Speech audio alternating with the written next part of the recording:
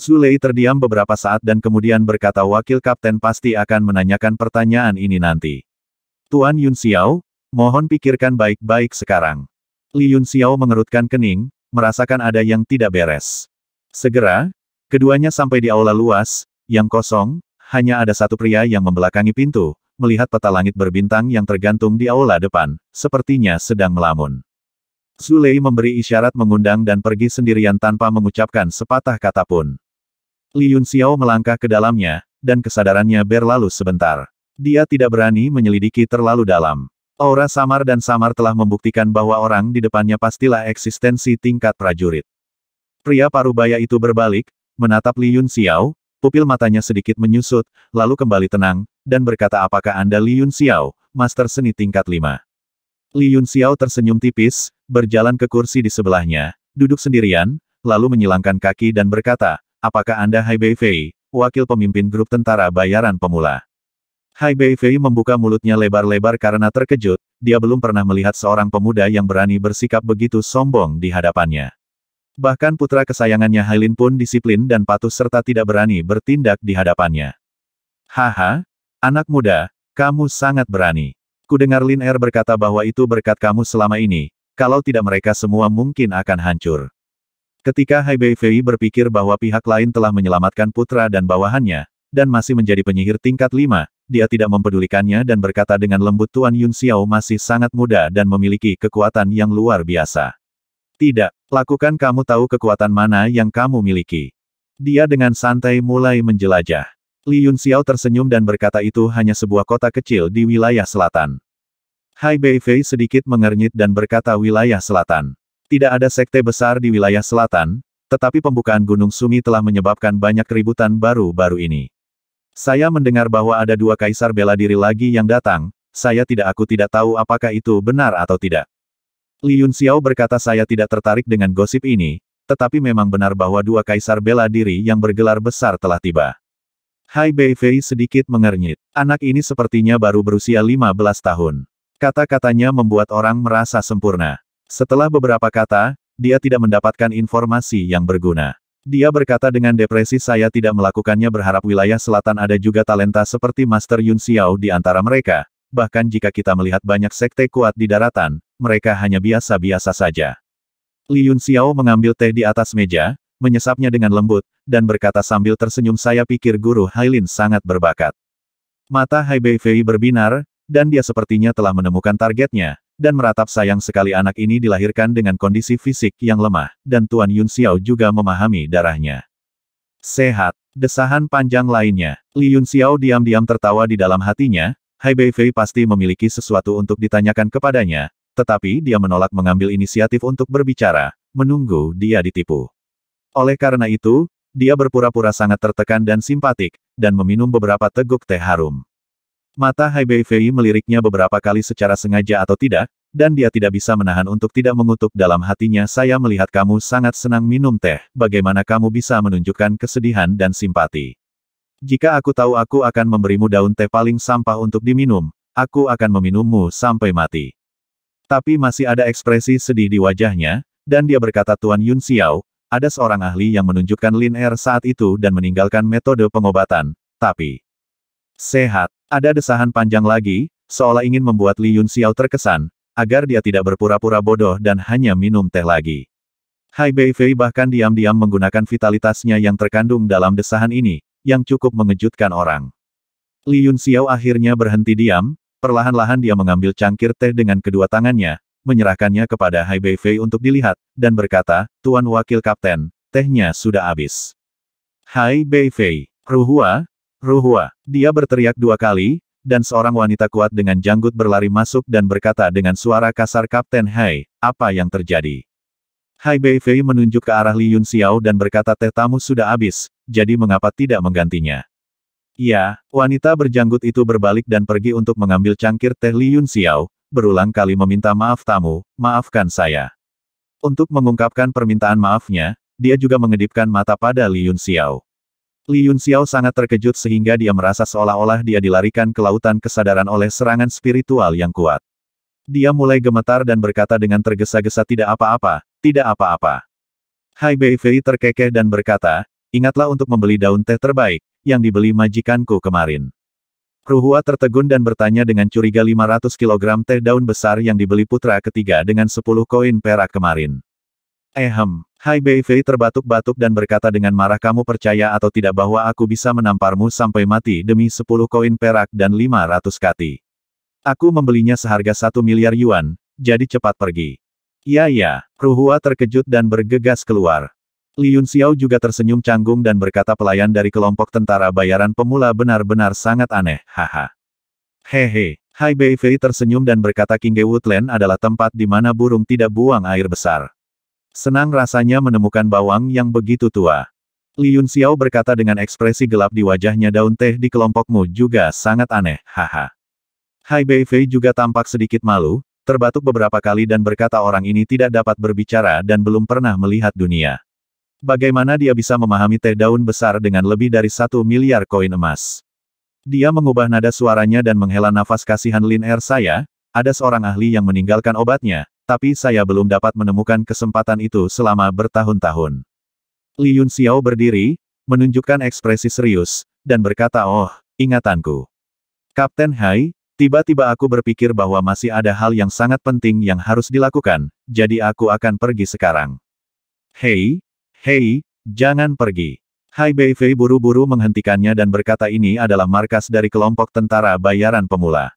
Apalagi yang harus dilakukan Tuan Yun Xiao. Haha, mari kita bicara lagi, oke. Li Yun Xiao memandangnya dengan malas dan berkata, saya tidak berniat meminum teh daun besar kelompok Anda. Hai Bei Fei tersenyum dan berteriak Xiao Huan, ambillah harta salju berkualitas tinggi yang telah saya kumpulkan. Seorang gadis kecil dan lembut berlari mendekat, mengangguk berulang kali lalu turun.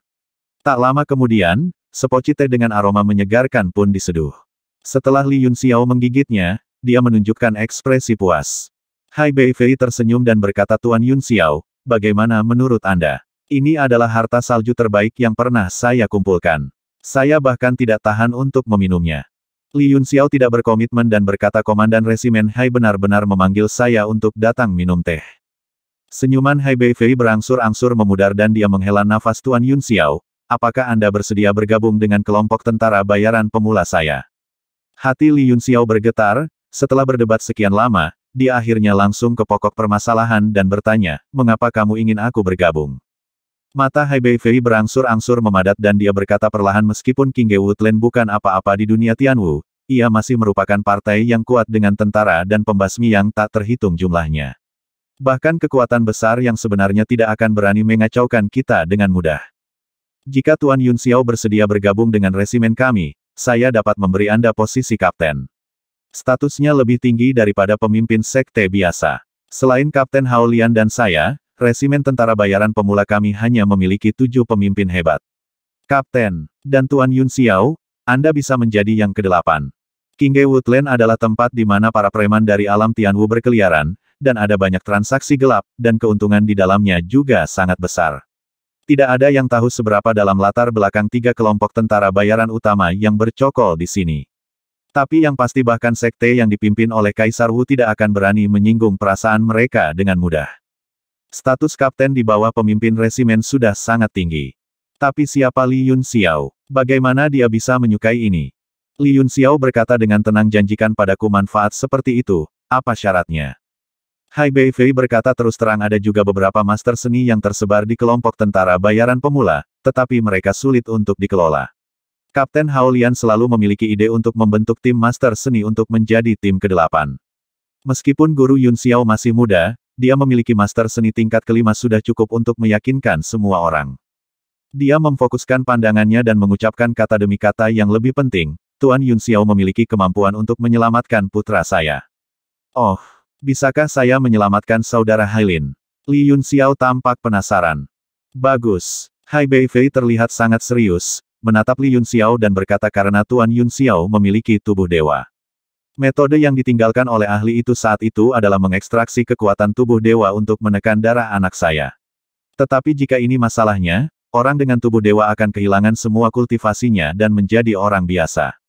Selama bertahun-tahun, saya terus mencari orang-orang dengan tubuh dewa, tetapi semuanya gagal. Meskipun dunia Tianwu besar, jumlah orang dengan tubuh dewa sangat sedikit. Wajah Li Yunxiao menjadi dingin, udara di sekitarnya tampak turun tiba-tiba, dan dia berkata dengan suara dingin kamu tahu, jika kamu mengekstraksi kekuatan tubuh dewa, kultivasiku tidak akan berguna, dan kamu masih ingin berbicara dengannya, aku tentang ini. Hai Bei Fei menghela nafas selama bertahun-tahun, Anda adalah satu-satunya kesempatan yang saya temui. Kekuatan darah di Lin Air semakin kuat, dan saya khawatir dia tidak akan bisa mengendalikannya untuk waktu yang lama, waktu. Tuan Yun Xiao, bukankah kamu berpikir kamu ketika saatnya tiba, apakah itu yang diutus oleh Tuhan untuk menyelamatkan Lin Air? Jika Anda tidak menyelamatkan nyawa semua orang, saya tidak akan berbicara banyak dengan Anda dan berjanji manfaat seperti itu. Li Yun Xiao tertawa dengan marah dan berkata, Haha, maksudmu, jika aku tidak menyelamatkan Hailin dan yang lainnya, kamu akan menangkapku dan mengambil kekuatan tubuh dewa. Hai Bei Fei tidak berkomitmen dan berkata Guru Yun Xiao, Anda dapat memikirkannya dengan hati-hati. Meskipun tubuh dewa dinonaktifkan, itu tidak akan berdampak besar pada seni. Ketika saatnya tiba, saya akan melakukan yang terbaik untuk membantu Guru Yun Xiao meningkatkan level seninya. Bahkan jika dia memasuki transformasi di masa depan, Shen Hai bukannya tanpa harapan. Mata Li Yun Xiao menjadi lebih dingin dan dia berkata dengan dingin bagaimana jika saya tidak setuju. Hai Bei Fei menghela nafas dan berkata Tuan Yun Xiao, jangan paksa saya. Lin Er secara alami baik. Dia menganggap Anda sebagai kakak dan teman. Dia baru saja bertengkar dengan saya karena masalah ini. Saya meminta seseorang menekan jika dia menolak, dia akan melawan dengan sekuat tenaga. Ketika Li Yun Xiao mendengar Hailin seperti ini, ekspresinya menjadi sedikit lebih baik, dan dia mencibir saya benar-benar ingin tahu apa yang akan terjadi jika Anda memaksa Kapten Hai melakukannya. Aura dingin terpancar dari tubuhnya, seperti pohon pinus hijau abadi yang berdiri dengan gagah di bawah es seribu tahun, antara dunia dan langit dan bumi. Sekalipun dia menghadapi keberadaan Wu Zun, dia tidak takut atau bingung sama sekali. Hai Bei Fei ketakutan dengan auranya, hatinya sangat menakjubkan, dan pupil matanya bersinar dengan sedikit keterkejutan. Keberadaan seorang Martial King belaka justru mengeluarkan aura yang mengejutkannya. Perasaan mendominasi dunia seperti itu tidak pernah ada bahkan bagi Kaisar Muda Haolian, yang berada di puncak seni bela diri. Ini, Hai Bei Fei terdiam, untuk seorang pemuda menawan, ditambah dengan fisik istimewanya, pencapaiannya di masa depan tidak akan terbatas. Tetapi ketika dia memikirkan Hailin, ekspresi tekad tiba-tiba muncul di matanya, dan dia berkata dengan suara terkonsentrasi kalau begitu saya hanya bisa mengendalikan Tuan Yun Xiao dan mengekstraknya dengan paksa. Mata Li Yun Xiao bersinar dengan keganasan, bahkan ketika dia menghadapi Kaisar bela diri Xing Xiu di kota Yanwu, dia tidak pernah bergeming satu langkah pun. Alih-alih mundur, dia malah maju, mengambil satu langkah ke depan, dan dengan momentum yang kuat, dia berkata dengan tegas saya sangat ingin melihatnya. Hai Bei Fei merasakan sedikit kemarahan. Pemuda ini benar-benar tidak tahu apa yang baik dan apa yang baik. Meskipun dia luar biasa, dia sombong dan cuek. Tanpa mengucapkan sepatah kata pun, dia meraihnya dengan satu telapak tangan, bertekad untuk menunjukkan warna pada pihak lain. Tuan bela diri bintang 2. Saat dia mengambil tindakan, Li Yunxiao segera menilai bahwa kekuatannya satu bintang lebih rendah dari Qi Feng. Meski begitu, itu bukanlah sesuatu yang bisa dia lawan. Dia meremas rahasianya dengan satu tangan, dan tanda awan api melintas di tengah alisnya, sedikit api Phoenix yang sebenarnya perlahan-lahan muncul, mengembun menjadi bayangan yang secara bertahap menjadi lebih tipis dan lebih tebal, dan membakar ke arah telapak tangannya, tangan. Huff, bahkan api iblis belaka pun ingin menyakitiku, apalagi itu masih bayangan api iblis, sombong dan cuek.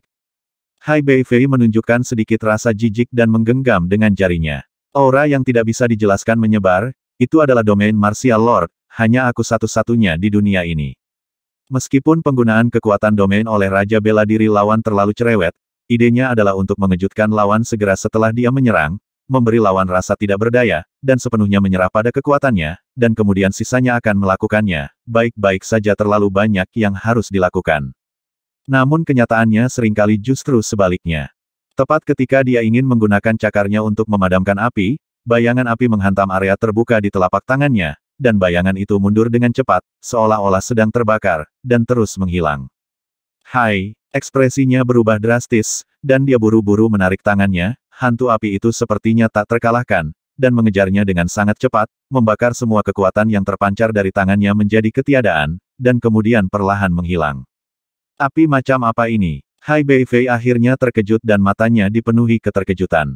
Hanya nyala api halus, bahkan tanpa mewujudkan tubuh aslinya, dapat membakar alam martial lord bagaimana hal seperti itu bisa ada antara langit dan bumi. Awan api di alis Li Yun Xiao melintas. Jelas sekali bahwa dia telah menghabiskan banyak kekuatan jiwa. Wajahnya menjadi sedikit pucat, dan dia berkata dengan dingin dan bangga itu hanya api iblis. Hati Hai terasa seperti sebuah batu besar membebani dirinya, dan wajahnya menjadi suram dan tidak menentu. Pihak lain bukan hanya penyihir tingkat 5 pada usia 15 tahun, tetapi dia juga seorang raja bela diri bintang 3, memiliki tubuh dewa dan memiliki api yang belum pernah terdengar sebelumnya.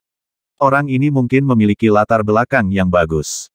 Pantas saja dia selalu sombong, dan Wu Zun tidak menganggapnya serius, pasti karena latar belakangnya di belakang panggung, Wu Zun sudah terbiasa. Selain itu, kelompok tentara bayaran pemula benar-benar berada pada waktu yang paling sensitif sekarang, karena berbagai situasi dapat terjadi kapan saja, dan dia tidak berani menimbulkan masalah dengan gegabah. Hai Bei Fei terdiam sejenak, tidak mampu mengambil keputusan. Li Yun Xiao berkata dengan dingin Kapten Hai, apakah kamu sudah selesai denganku sekarang? Hai Bei Fei mendengus dingin dan menjadi sedikit marah di dalam hatinya, tetapi dia tidak berani mengambil tindakan gegabah lagi. Sebaliknya, dia bertanya saya ingin tahu apa yang ingin dilakukan Tuan Yun Xiao ketika dia datang ke hutan Qingge. Li Yun Xiao mengerutkan kening, memikirkan tujuan perjalanannya. Kemungkinan besar dia harus bergantung pada kelompok tentara bayaran pemula untuk menangani masalah di tanah kuno. Selain itu, kelompok ini dibentuk oleh muridnya, jadi itu tidak mudah untuk mendapat masalah dengan mereka. Lalu dia berkata dengan marah saya ingin pergi ke negeri kuno. Tanah kuno. Hai Bei Fei memasang ekspresi keheranan di wajahnya, lalu terdiam. Li Yun Xiao bertanya dengan curiga apakah ada masalah. Hai Bei Fei menunjukkan ekspresi bingung dan berkata tanah kuno adalah gurun tanpa burung dan tanpa manusia, dan kondisi kehidupannya sangat keras. Selain itu, ada angin kuno, yang sangat berbahaya. Bahkan sembilan surga bela diri yang kuat kaisar sangat takut akan hal itu. Saya tidak kenal Yun Xiao. Mengapa guru masuk? Apakah itu untuk pelatihan? Ketika Li Yun Xiao mendengar ini, dia langsung sangat gembira. Tujuan kedatangannya ke Qingge Woodland adalah untuk mengumpulkan Gang Feng kuno dan membuka alam angin di Monumen Dewa Dunia. Awalnya, saya tidak yakin apakah Gang Feng semacam ini benar-benar ada di negeri kuno, tapi sekarang tampaknya itu benar. Kedua, saya juga ingin melihat murid saya. Ya, aku hanya ingin mengalaminya. Li Yun Xiao mengangguk, tampak bahagia. Hai Bei Fei mengerutkan kening dan berkata memang benar banyak orang kuat suka pergi ke tempat itu untuk berlatih, tetapi dengan kultivasi guru Yun Xiao, itu masih sedikit. Maksudnya sangat jelas, Anda tidak memenuhi syarat. Li Yun Xiao tersenyum dan berkata Anda tidak perlu mengkhawatirkan Kapten Hai sekarang. Ngomong-ngomong, saya ingin bertanya apakah Kapten Hao Lian ada di sini. Untuk beberapa alasan, ekspresi Hai Beifei tiba-tiba berubah, dan tatapan tajam keluar dari tubuhnya. Matanya, yang sebelumnya tenang seperti air, tiba-tiba menjadi tajam. Dia menatap Li Yun Xiao dan berkata, apa maksudmu dengan bertanya tentang kondisi Kapten Hao Lian? Jantung Li Yun Xiao berdetak kencang saat dia menatapnya, dan dia merasa sedikit tidak nyaman dan berkata, apa? Apakah ada masalah? Wajah Hai Bei Fei berangsur-angsur menjadi dingin, dan dia bersenandung bukankah ada rumor di dunia luar bahwa Kapten Hao Lian gagal dalam pengasingan untuk menyerang Kaisar Wu dan telah meninggal. Selama periode ini, banyak orang mengetuk sana-sini untuk mendapatkan informasi dari saya. Huh, mereka semua adalah sekelompok orang menyebalkan. Seseorang seperti dia, saya dapat memberitahu Anda dengan pasti bahwa Kapten Hao Lian baik-baik saja sekarang, dan serangannya terhadap Kaisar Wu berjalan sangat lancar, dan dia akan keluar dari pengasingan segera. Adapun di mana dia berada dalam pengasingan, Anda tidak perlu bertanya. Hati Li Yun Xiao bergetar, dan perasaan buruk muncul secara spontan. Menyerang Kaisar Bela Diri adalah rintangan terbesar dalam seni bela diri, membutuhkan waktu, tempat, dan orang yang tepat agar memiliki peluang untuk berhasil. Hai Bei Fei tidak tahu apakah serangan itu berjalan lancar, semua ini hanyalah alasan. Tapi itu juga menunjukkan dari sisi bahwa dia juga sangat tidak yakin pada dirinya sendiri, itulah sebabnya dia begitu sensitif dan tabu jika orang lain menanyakan hal ini. Mungkinkah sesuatu benar-benar terjadi pada anak laki-laki itu, Kaisar Muda? Dia menjadi sedikit cemas, tapi jika dia terus bertanya, sia-sia saja. Belum lagi Hai Bei Fei mungkin tidak tahu apa-apa, dan bahkan jika dia tahu, dia tidak akan mengatakan apa-apa, dan akan berpikir bahwa dia adalah mata-mata atau semacamnya. Tolong juga minta Kapten Hai untuk memberitahumu cara menuju ke tanah kuno. Haha, Hai Bei Fei terkekeh dan berkata meskipun semua orang tahu bahwa pintu masuk ke tanah kuno ada di hutan Kingge, tidak lebih dari 10 orang di seluruh hutan Kingge yang benar-benar tahu cara menuju ke sana. Dan saya adalah salah satunya. Satu. Selain itu, bahkan jika Anda mengetahuinya, tanpa bantuan kelompok tentara bayaran pemula, tidak mungkin bagi Tuan Yun Xiao untuk masuk. Jadi, guru dapat mempertimbangkan kondisi yang saya sebutkan sebelumnya. Li Yun Xiao tidak bisa menahan diri untuk tidak mengutuk saya pergi ke tanah kuno hanya untuk berlatih. Jika kekuatan tubuh dewa diambil dan seni bela diri tidak berguna, lalu mengapa saya harus pergi ke sana? Dia berpikir sejenak, dan kemudian berkata saudara Hailin tidak ada cara untuk menyelesaikan situasi ini. Selain mengekstraksi kekuatan tubuh dewa, saya tahu setidaknya tiga cara lagi. Murid Hai Bei Fei tiba-tiba menyusut dan dia bertanya dengan cemas tiga tipe apa. Li Yun Xiao berkata dua di antaranya kemungkinan besar tidak akan terwujud. Bagi Kapten Hai, cara yang paling dapat diandalkan adalah menggunakan pohon cemara untuk mengekstrak sari kayu, yang cukup untuk menekan garis keturunan Kun Niu liar pada saudara Hailin. Kemudian, gunakan setiap metode untuk meningkatkan kekuatannya ke Wuzong, dan kemudian kekuatan garis keturunan Mang Huang Kuniu tidak hanya tidak lagi menjadi beban, tetapi akan menjadi kekuatan yang sangat kuat yang dapat digunakan untuknya. Pohon Cemara Abadi Wajah Hai Fei menunjukkan ekspresi kegembiraan, dan kemudian dia menjadi sangat aneh dan berkata Tuan Yun Xiao, apakah dia tahu di mana pohon cemara ini berada? Li Yun Xiao mengerutkan kening dan berkata, bukankah itu di dataran iblis? Kapten Hai seharusnya lebih tahu dari saya, bukan? Hai Bei Fei berkata dengan senyum masam di wajahnya itu memang di dataran iblis, tetapi pepohonan hijau sudah ada ketika dunia pertama kali lahir. Dikatakan bahwa mereka telah mengembangkan spiritualitas dan dapat bergerak sesuka hati.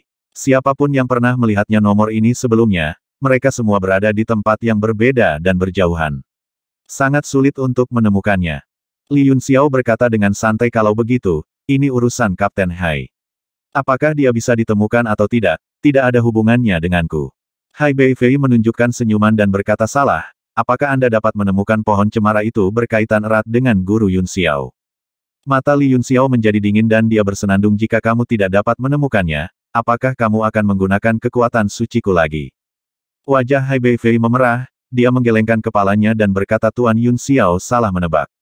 Tapi pohon cemara adalah satu-satunya persimpangan menuju ke tanah kuno. Apa? Li Yun Xiao melompat kaget dan berkata dengan kaget bagaimana mungkin memasuki tanah kuno dari sana. Hai Bei Fei berkata dengan wajah serius menurut Tuan Yun Xiao, di manakah tanah kuno itu? Tepatnya, tempat itu bukan di alam Tianwu. Dia menunjuk ke atas dan berkata itu ada di langit berbintang luar. Hanya pohon cemara yang telah ada sejak awal dunia, dan itu adalah satu-satunya jalan menuju langit berbintang terluar. Wajah Li Yunxiao menjadi kusam dan dia bergumam jadi, memang benar kamu tidak bisa masuk begitu saja jika kamu mau. Jadi, apakah ada berita tentang pohon cemara akhir-akhir ini? Hai Bei Fei menggelengkan kepalanya dan berkata lapangan iblis sangat luas, dan pepohonan hijau dapat bergerak sendiri. Bagaimana bisa begitu mudah menemukannya? Biasanya diperlukan waktu beberapa tahun atau bahkan lebih dari 10 tahun untuk mendapatkan berita, untuk menyebar. Namun, kali ini, karena tujuan kita sama, jadi aku pasti akan menggunakan seluruh kekuatanku dan memberikan hadiah untuk menemukan pohon suci ini. Li Yun Xiao mengangguk dan berkata kalau begitu Komandan Lao Hai, jika Anda mengizinkan saya memasuki tanah kuno, masalah saudara Hailin ada pada saya. Hai Bei Fei berkata saya akan memberi perintah dan memberikan hadiah sekarang. Dia melangkah keluar, tiba-tiba berhenti, berbalik dan berkata sambil tersenyum Tuan Yun Xiao, Bahkan jika Anda mencari dengan seluruh kekuatan Anda, saya khawatir Anda tidak akan dapat menemukannya untuk sementara waktu.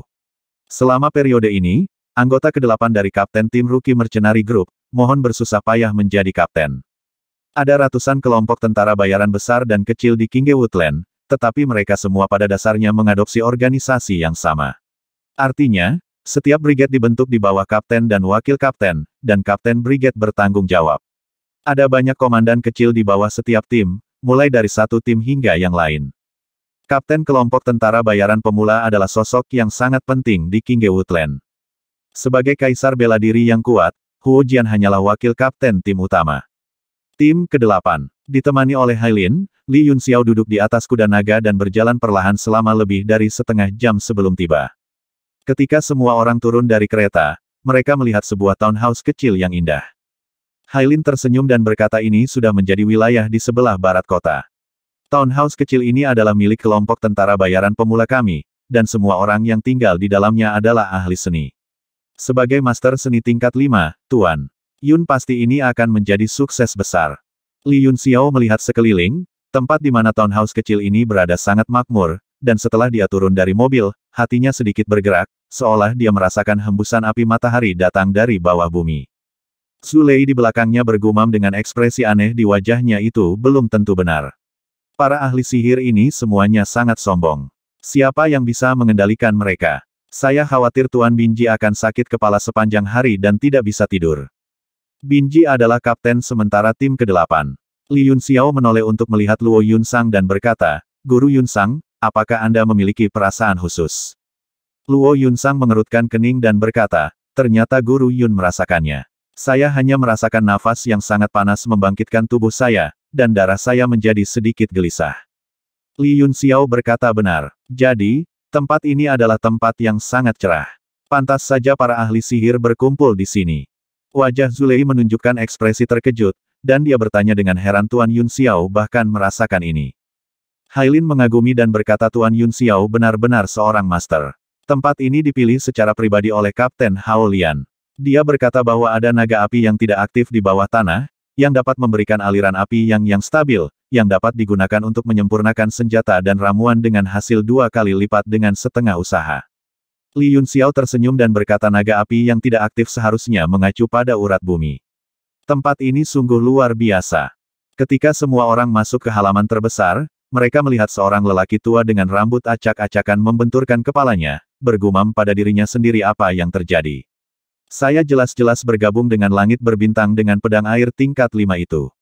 Mengapa saya tidak bisa maju ke besi dingin serta es dan salju yang berumur ribuan tahun? Kenapa? Kenapa ini? Orang tua itu terus menjambak rambutnya dan sepertinya merasakan sakit yang tidak biasa. Kedua matanya sangat merah dan bengkak, dan terlihat jelas bahwa mereka sudah lama tidak tidur. Hailin tampak terkejut dan buru-buru melangkah maju Tuan Lu. Orang tua itu sama sekali tidak memperhatikan kedatangan orang-orang ini, dan Hailin menutup telinga terhadap panggilannya, dia hanya terus menjambak rambutnya, hampir sampai tertangkap. Li Yun Xiao tersenyum pahit dan menggelengkan kepalanya meskipun Starry Sky Cold Iron memiliki sifat air super, itu adalah harta berbasis emas yang tersembunyi dan tersembunyi. Saat Anda memajukan senjata misterius, Anda pasti akan mengintegrasikan atribut yang terkandung di dalamnya itu. Wajar jika menghancurkan keseimbangan berbagai atribut dan akhirnya gagal untuk maju. Ah! Orang tua itu langsung berteriak, mulutnya terbuka lebar, dan dia berdiri di sana tak bergerak seperti tersambar petir. Namun matanya yang keruh dan merah menjadi semakin bersinar. Orang tua itu tiba-tiba melompat, menamparkan tangannya dengan keras, dan tertawa saya akhirnya mengerti, haha. Itu dia, itu dia. Dia tertawa liar beberapa kali, lalu lari tanpa jejak.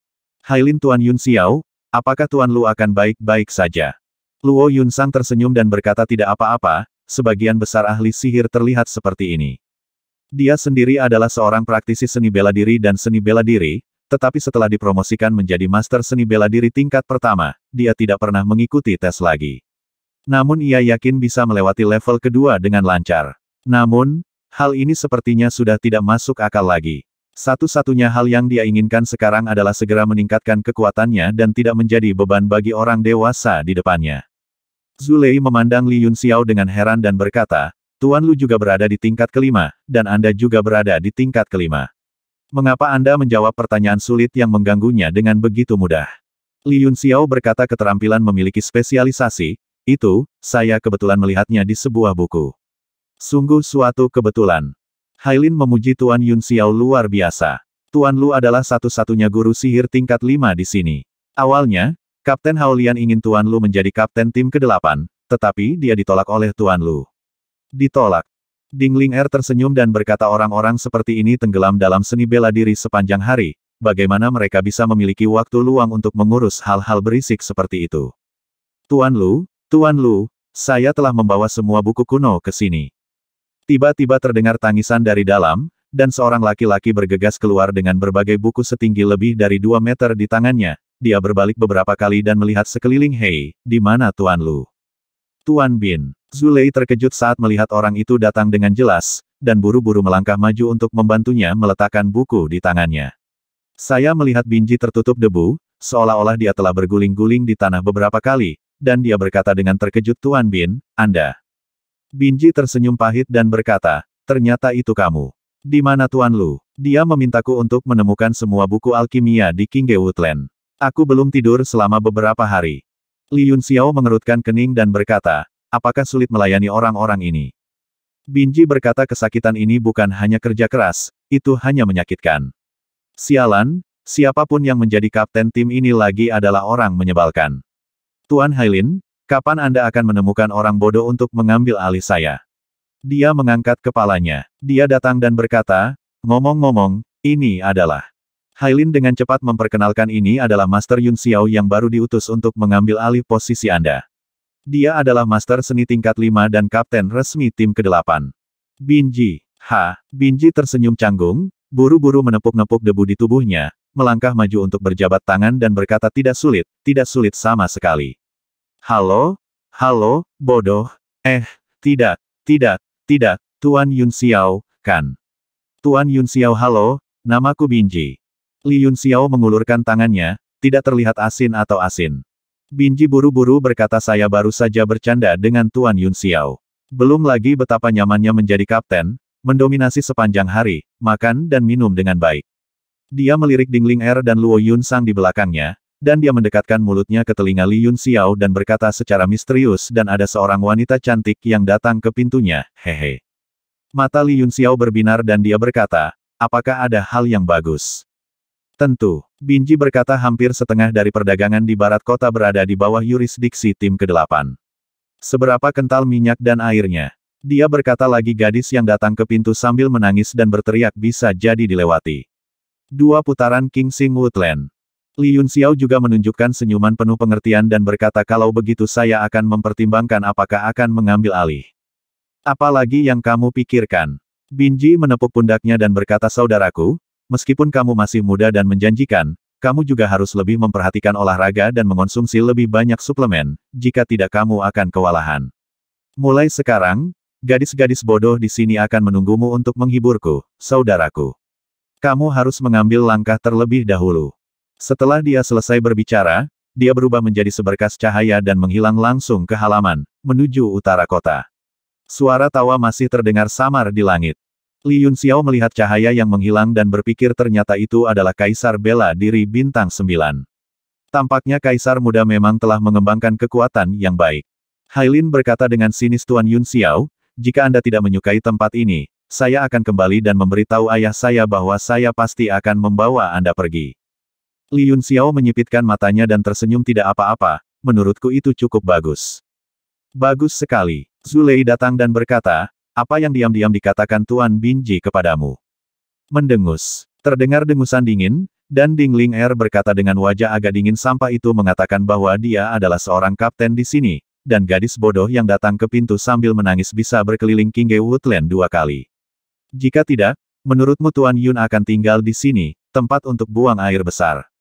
Li Yun Xiao memiliki ekspresi gelap di wajahnya dan buru-buru menjelaskan bukan itu alasannya. Bagaimanapun, saya juga seorang pesulap. Saya lebih terbiasa tinggal bersama semua orang. Zulei menepuk pundaknya dan berkata, Tuan Yun Xiao, kita semua laki-laki, jadi kita bisa mengerti. Li Yun Xiao berkata dengan cemas ini sebenarnya tidak seperti yang kamu pikirkan. Hailin berkata Tuan Yun Xiao, mari kita periksa dulu situasinya di sini. Ya, ya, mari kita lihat situasi di sini dulu. Li Yun Xiao menyeka keringat dingin di dahinya dan merasakan dua rasa dingin di belakangnya, seperti dua es batu mengikuti di belakangnya. Hailin berkata Tuan Yun Xiao, silakan datang ke sini. Ngomong-ngomong, saya akan meminta orang mengirimkan suplemen dalam jumlah besar nanti. Tuan Yun Xiao harus menjaga dirinya sendiri. Li Yun Xiao. Di belakang townhouse terdapat ruang terbuka yang sangat luas, dan di depannya terdapat bangunan mirip labu, yang sangat luas, dengan orang-orang keluar masuk dari waktu ke waktu. Seorang pria di depan pintu sedang sibuk memberikan instruksi. Mengapa kamu berlama-lama? Mengapa kamu tidak segera mengirimkannya kepada Tuan Ni? Babi, Tuan Leng menginginkan tujuh daun harum, bukan tujuh daun teratai. Aku akan menendangmu sampai mati. Jika kamu menyilangkan pisangmu dan melingkarinya, kamu tidak akan dapat menemukan bongkahan es yang tidak memiliki bayangan. Jika kamu tidak dapat menemukannya sebelum gelap, jangan kembali. Bodoh amat dengan ibumu. Ramuan iblis yang Tuan Wei ingin ledakkan babi apinya bukanlah kepala babi. Pria itu membenturkan kepala babi merah menyala ke kepala salah satu anak buahnya, meninju dan menendangnya serta mengusirnya dengan panik, dan meraung jika kami tidak melakukannya dengan benar, saya akan menangkap Anda satu per satu, dan menggunakannya sebagai bahan pelatihan bagi para master itu. Semua anak buahnya menundukkan kepala dan berlari menjauh. Tuan Zhou Xiang, Hailin berteriak dari kejauhan dan berkata sambil tersenyum, Tuan Zhou Xiang tampaknya menjalani kehidupan yang memuaskan. Pria itu melihat lebih dekat, segera berlari ke depan, hampir berlutut, dan meratap Tuan Hailin, tolong pindahkan saya. Saya akan mendirikan monumen keabadian untuk Anda, dan Anda akan bersujud tiga kali dan sembilan kali setiap hari. Hailin berkata sambil tersenyum kamu tidak perlu berkelahi dan menghabisi orang di sini. Kamu menjalani kehidupan yang memuaskan setiap hari. Betapa bergizinya. Bahkan jika orang ingin datang, mereka tidak akan membiarkan mereka datang. Zhou Xiang memukuli dadanya kesakitan, memeluk Hailin dan menangis dengan keras kembalikan aku hari-hari pedang dan darah. Hailin mendorongnya menjauh dan menjelaskan kepada Li Yun Xiao ini Zhou Xiang, wakil kapten tim ke-8. Dia orang yang sangat baik. Li Yun Xiao tersenyum tipis menurut Hailin, semua orang baik-baik saja. Matanya menyapu Zhou Xiang, dan dia segera membuat keputusan, Kaisar bela diri bintang 5. Tampaknya orang yang bisa menjadi pemimpin tim tentara bayaran pemula setidaknya harus menjadi kaisar bela diri yang kuat. Selain itu, Zhou Xiang juga masih sangat muda dan tampaknya sangat berbakat. Resimen mengatur agar dia melakukan hal-hal usil di tempat seperti itu, mungkin sebagai semacam perlindungan baginya. Lagi pula, di hutan Kingge yang ganas, bahkan jika Anda adalah kaisar bela diri, Anda bisa jatuh kapan saja. Li Yun Xiao menyapa saya kapten baru dari tim ke-8. Mulai sekarang, tempat ini akan berada di bawah kendali saya. Dia menunjuk ke arah Zhou Xiang dan tersenyum termasuk Anda. Mata Zhou Xiang melotot. Dia menatap kosong ke arah Li Yun Xiao untuk beberapa saat, lalu melihat ke langit dan melolong apakah ini ujian terakhir bagi saya oleh kapten. Seorang anak, mungkinkah dia anak haram dari kapten?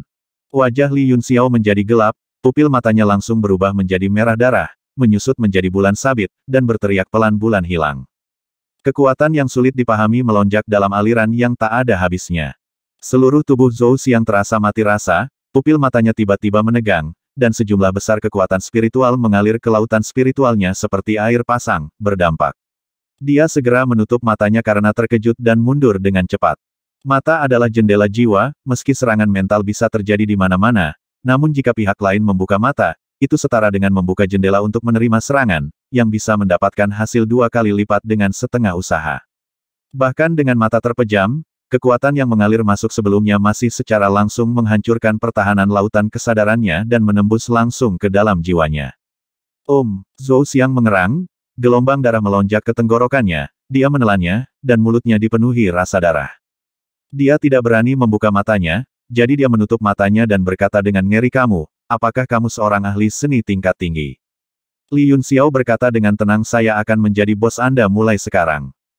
Zhou Xiang menelan ludahnya dengan getir, lalu perlahan membuka matanya, menatap Hailin dengan menyedihkan, dengan jelas berkata sekelompok ahli sihir tidak bisa lagi mengabdi, dan sekarang yang lain telah dikirim untuk melayaninya, dan juga pandai dalam serangan mental. Saya khawatir saya tidak akan berumur panjang. Tuan Hailin, ibuku yang sudah tua akan dijaga olehmu mulai sekarang. Uho. Memikirkan kesedihannya, Zhou Xiang tidak bisa menahan tangisnya. Wajah Zulei meneteskan keringat dingin. Pihak lain adalah kaisar bela diri yang kuat, dan dia benar-benar mulai menangis. Dapat dilihat bahwa di tempat yang tidak manusiawi, bahkan Kaisar Wu pun tidak dapat menahannya. Hailin berpura-pura menepuk pundaknya dan menghiburnya jangan khawatir, saudara Yun Xiao akan melindungimu mulai sekarang. Kamu pasti tidak akan menderita kerugian apa pun jika mengikuti saudara Yun Xiao. Saudara Yun Xiao adalah orang yang sangat baik. Li Yun Xiao memandangi bangunan seperti labu itu dan merasakan ombak datang dari dalam, dengan senyuman penuh pengertian di matanya, dia berkata Zhou Xiang, bawa kami masuk dan lihat. Zhou Xiang menangis sedih, tiba-tiba seluruh tubuhnya gemetar, ada ekspresi ketakutan di matanya, dia menggelengkan kepalanya berulang kali dan berkata tidak, tidak, tidak, kamu harus masuk sendiri. Li Yun Xiao tertegun dan berkata sambil tersenyum apakah ini sangat menakutkan. Zhou Xiang menyeringai dan berkata kamu akan tahu setelah kamu masuk dan mencobanya. Bagaimana kalau kita bertaruh? Jika kamu bisa masuk dan tidak keluar selama setengah jam, saya akan dengan tulus meyakinkan kamu dan menelepon Anda bos. Saya akan mengikuti perintah. Dari, jika tidak, Anda harus menemukan cara untuk memindahkan saya dari tim ke-8. Senyuman licik muncul di matanya, dan dia bertanya penuh harap bagaimana. Li Yunxiao tersenyum sedikit dan berkata, setuju, mari kita tunggu di luar. Dia berjalan masuk tanpa menoleh ke belakang. Melihat punggungnya memasuki labu harta karun, Zhou Xiang tertawa terbahak-bahak. Haha, saya akhirnya bisa pergi dari sini. Ding Ling Er memandangnya dengan tenang dan berkata, saya khawatir Anda akan kecewa kali ini. Sebaiknya Anda memikirkan bagaimana memanggil saya bos nanti. Zhou Xiang berkata dengan percaya diri saya tidak akan kalah. Tidak ada seorang pun di tempat neraka ini yang dapat menahan para master sihir itu selama lebih dari setengah jam. Dia memandang Ding Ling Er dan berkata dengan senyum jahat bagaimana kalau kita membuat bertaruh juga. Jika kamu kalah, kamu akan menjadi pacarku. Wajah Ding Ling Er menjadi gelap dan dia berkata dengan dingin jika kamu kalah, tampar dirimu sepuluh kali dan merangkaklah di tanah tiga kali. Oke, kesepakatan. Zhou Xiang tertawa terbahak-bahak, air mata mengalir di matanya, syukurlah, aku, Zhou Xiang, akhirnya sampai pada akhir kesusahanku. Aku tidak hanya bisa meninggalkan tempat neraka ini, tapi aku juga kedatangan seorang gadis cantik aku. Dunia ini sangat indah. Ding Ling Er menatapnya dengan dingin, sepertinya dia sedang mendengkur.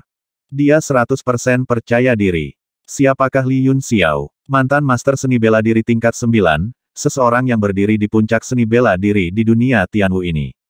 Beberapa orang menunggu dengan tenang di luar. Awalnya, wajah Zhou Xiang penuh nafsu, dan dia tidak bisa menahan diri untuk tidak melihat ke arah Ding Ling Er, mengagumi pacar yang akan dia miliki. Kemudian, dia dikejutkan oleh Ding Ling niat menghabisi Er. Setelah menatap beberapa kali, saya tidak berani melihat lagi. Pergilah, anakmu berani menghancurkan pemurnianku, kamu, kamu layak mati. Benar saja, Suara gemuruh yang menggemparkan bumi datang dari dalam, menyebabkan seluruh bangunan bau gulu bergetar. Zhou Xiang tertawa terbahak-bahak dan berkata haha, anak itu sudah selesai. Mendengarkan suara ini, itu pasti Tuan Fang Rui. Dia sedang menyempurnakan pil jedi, yang sedang disempurnakan oleh lima tuan. Ini adalah momen paling kritis, dan ini para dewa tidak akan menghabisi anak itu. Dia menatap Ding Ling Er dengan bangga, tetapi tidak ada emosi di wajahnya, seolah-olah tidak terjadi apa-apa. Zhou Xiang merasa tidak nyaman di hatinya, tetapi dia mendengus sedikit, menunjukkan ekspresi puas diri, seolah dia sedang menunggu untuk melihat apa yang sedang terjadi. Di dalam labu harta karun, seorang lelaki tua jorok membentak Li Yun Xiao dan berkata, Sialan. Kami telah bekerja keras selama lebih dari setengah bulan dan menghabiskan sumber daya yang tak terhitung jumlahnya untuk memperbaikinya, tetapi Anda menghancurkannya. Anda tidak dapat lepas dari rasa bersalah Anda bahkan jika kamu bermain sampai mati. Ada juga empat ahli sihir, semuanya memiliki wajah suram dan tubuh pucat menakutkan. Bukan hanya kemarahan yang menyebabkan hal ini, tetapi setelah sekian lama pemurnian, para ahli seni ini telah lama kehabisan kekuatan jiwa mereka, ki dan darah mereka telah lama lemah, dan mereka terlihat seperti manusia atau hantu. Ada sejumlah besar master seni lainnya di sekitar, yang juga dikejutkan oleh suara gemuruh dan mengalihkan pandangan mereka. Ya Tuhan, Tuan Fang Rui menghabiskan banyak upaya untuk menyempurnakan pil jadi. Apakah dia gagal lagi? Apakah pil jadi ini begitu sulit untuk dimurnikan? Apakah tidak mungkin untuk menggabungkan kekuatan lima master? Pil jadi hanyalah ramuan tingkat kelima. Tuan Fang Rui sendiri adalah eksistensi tingkat kelima. Pil jadi adalah ramuan teratas di tingkat kelima. Pil ini dapat meningkatkan 30% peluang Raja Bela Diri untuk menerobos ke alam Liu He. Kegagalan adalah hal yang normal. Bahkan Master Sihir tingkat 6 memiliki tingkat keberhasilan yang sangat rendah. Menurutku tidak. Seharusnya anak laki-laki itu yang mengganggu pemurnian Tuan Fang, kalau tidak maka tidak akan gagal. Lagi pula, butuh lebih dari setengah tahun persiapan dan aku memulainya dengan penuh percaya diri. Untuk sesaat, semua orang menghentikan apa yang mereka lakukan dan menoleh dan mulai berbicara. Li Yun Xiao memandang lelaki tua yang ceroboh itu, mengangkat alisnya, dan berkata dengan sinis saya gagal dalam pemurnian, dan kesalahan ada pada orang lain. Apakah Anda begitu tidak tahu malu? Fang Rui sangat marah, gemetar karena marah dan berkata saya, pemurnian saya gagal. Tahukah Anda berapa banyak persiapan yang saya buat untuk pemurnian ini? Setiap langkah telah direncanakan ratusan kali, dan ini benar-benar sangat mudah. Itu adalah sesuatu. Anda, tolong bayar aku untuk memperbaikinya. Li Yunxiao mengendus hidungnya dan bersenandung lembut memurnikan pil jadi hanya membutuhkan tujuh bahan utama dan 36 bahan pembantu. Setidaknya ada ratusan bahan di tungku pil Anda. Berantakan dan tidak akan gagal. Apa yang terjadi? Sial, bagian terburuknya adalah kegagalan itu ada pada saya. Anda, Fang Rui terkejut. Resep untuk memurnikan pil jadi sangat rahasia. Bagaimana anak ini bisa tahu bahwa itu terdiri dari 7 ditambah 36 bahan? Dan bagaimana dia tahu bahwa ada ratusan bahan di dalam tungku alkimia? Mungkinkah tercium? Benar-benar mustahil. Kau tahu sial, pil jadi adalah ramuan tingkat 5 tingkat atas. Pil ini mengandung niat bela diri Liu He yang sangat besar. Ini dapat meningkatkan kemungkinan terobosan sekte bela diri sebesar 30%. Dan bahan dari 7 ditambah 36 adalah selain bahan utama dari tiga rasa, semuanya adalah bahan tingkat kelima. Dengan kekuatan kami, sulit untuk meningkatkan makna tingkat keenam. Oleh karena itu, sejumlah besar bahan tingkat keenam digunakan untuk memurnikan niat bela diri Liu He dan mengintegrasikannya.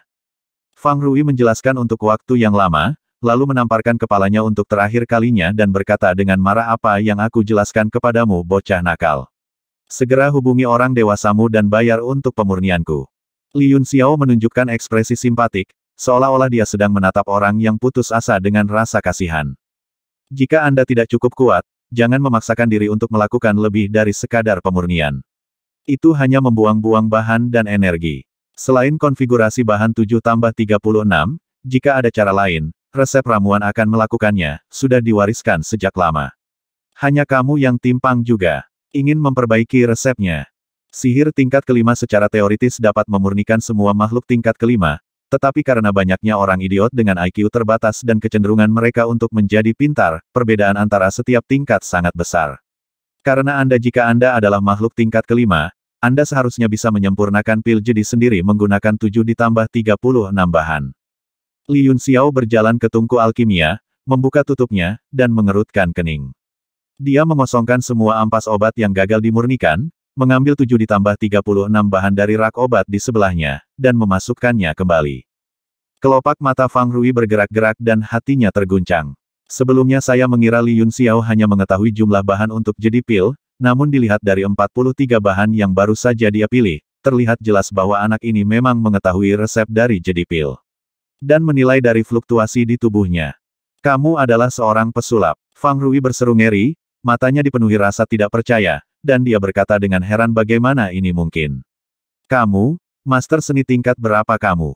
Li Yun Xiao menutup-tutup tungku, meliriknya, dan berkata ada urat tanah naga api di sini, dan energi yang melonjak. Dengan sihir tingkat kelima, itu cukup untuk menyempurnakan pil jadi. Dia menembakkan formula ajaib dan terbang ke tungku alkimia, yang segera mulai menderu, permata yang bertatahkan di tungku memancarkan berbagai warna dan sangat indah. Apa? Dia ingin menyempurnakan pil jadi.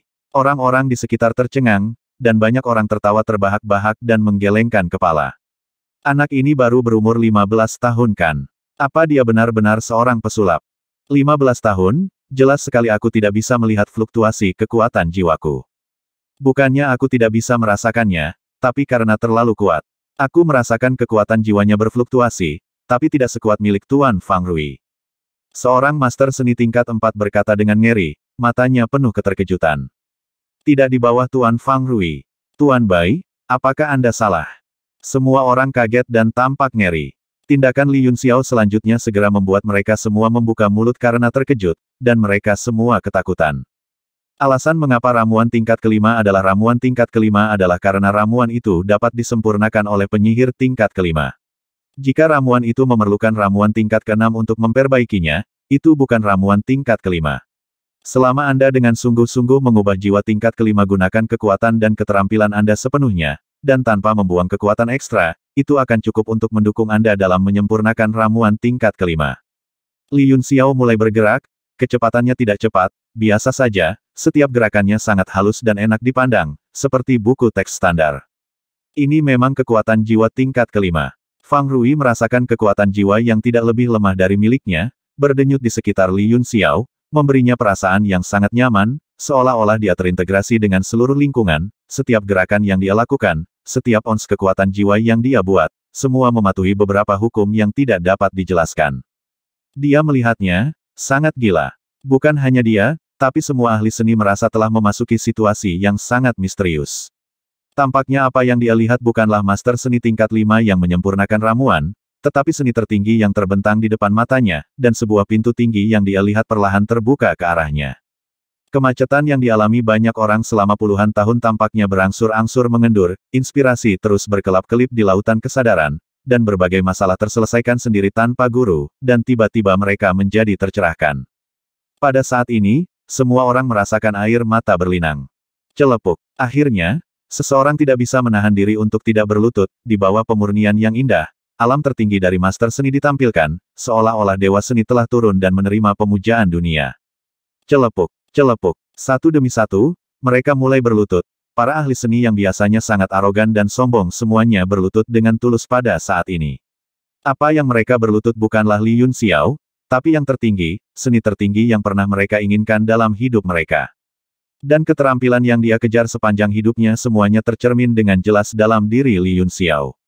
Setiap gerakan yang dia lakukan halus dan mulus, dengan senyuman tipis di wajahnya. Benar-benar berlawanan dengan para ahli seni yang bekerja keras dan mempertaruhkan nyawa mereka untuk menyempurnakannya, Pemurnian semacam ini seperti semacam kenikmatan di tangannya, dan dia tampak semakin energi. Kecuali suara gemuruh dari tungku alkimia, tidak ada suara di seluruh aula, menunjukkan keheningan yang aneh. Setengah jam kemudian, kecuali Li Yun Xiao, tidak ada seorang pun yang berdiri. Cahaya permata di tungku alkimia berkedip-kedip secara bergantian, dan segera terdiam. Li Yun Xiao berkeringat dan napasnya menjadi lebih berat. Sudah lama sekali saya tidak mendapatkan pengalaman pemurnian yang menyegarkan, dan kekuatan jiwa tingkat kelima saya benar-benar habis. Dia melangkah maju dan membuka tutup tungku, dan aroma dupa merah memenuhi udara, memenuhi seluruh aula dengan aroma. Miliknya, Fang Rui menarik napas dalam-dalam, air mata kegembiraan memenuhi matanya, dan berkata jadi pil, pil jadi paling premium memiliki wewangian. Dewa sihir, dewa-dewa sihir. Seorang ahli sihir berteriak tolong ajari aku sihir terkuat, Tuan Dewa Sihir. Tuan Dewa Sihir. Tiba-tiba semua ahli seni menangis dan berteriak serentak.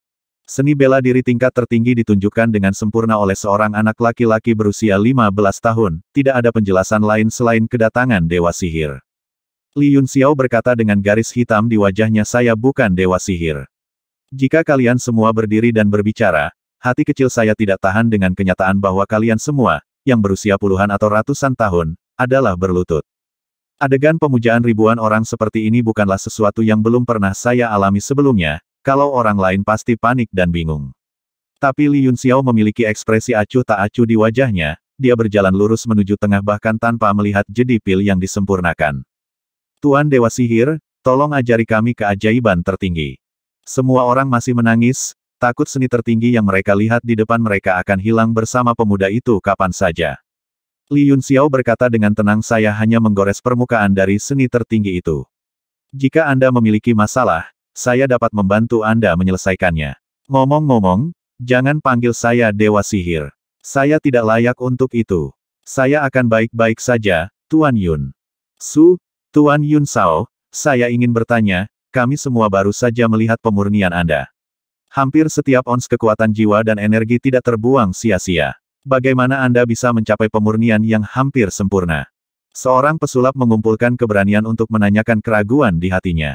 Saat ini, semua orang sangat gugup dan menajamkan telinga untuk mendengarkan, ini adalah keraguan terbesar di hati mereka. Li Yun Xiao berjalan ke atas aula, memindahkan kursi dan duduk, menyilangkan kaki dan berkata, kalian semua harus duduk juga, jangan berdiri satu persatu.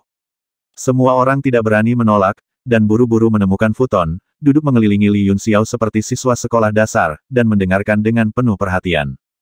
Pemurnian apa pun akan menyebabkan hilangnya kekuatan jiwa yang tidak beralasan, dan bahkan saya pun tidak terkecuali. Tapi kehilangan ini bisa dikendalikan. Waktu berlalu sedikit demi sedikit. Zhou Xiang, yang sedang menunggu di luar bau gulu, mulai kehilangan harga dirinya sebelumnya dan mengerutkan kening dari waktu ke waktu, seolah sedang memikirkan sesuatu. Kemudian, dia akhirnya menjadi gelisah dan terus mondar-mandir, melihat ke dalam labu harta karun, seolah-olah dia takut Li Yun Xiao bersembunyi di suatu tempat. Akhirnya, setengah jam berlalu, dan masih belum ada tanda-tanda keberadaan Li Yun Xiao. Bagaimana bisa? Zhou Xiang melompat dan berkata dengan marah dia pasti curang dan bersembunyi di suatu tempat di dalam tanpa masuk.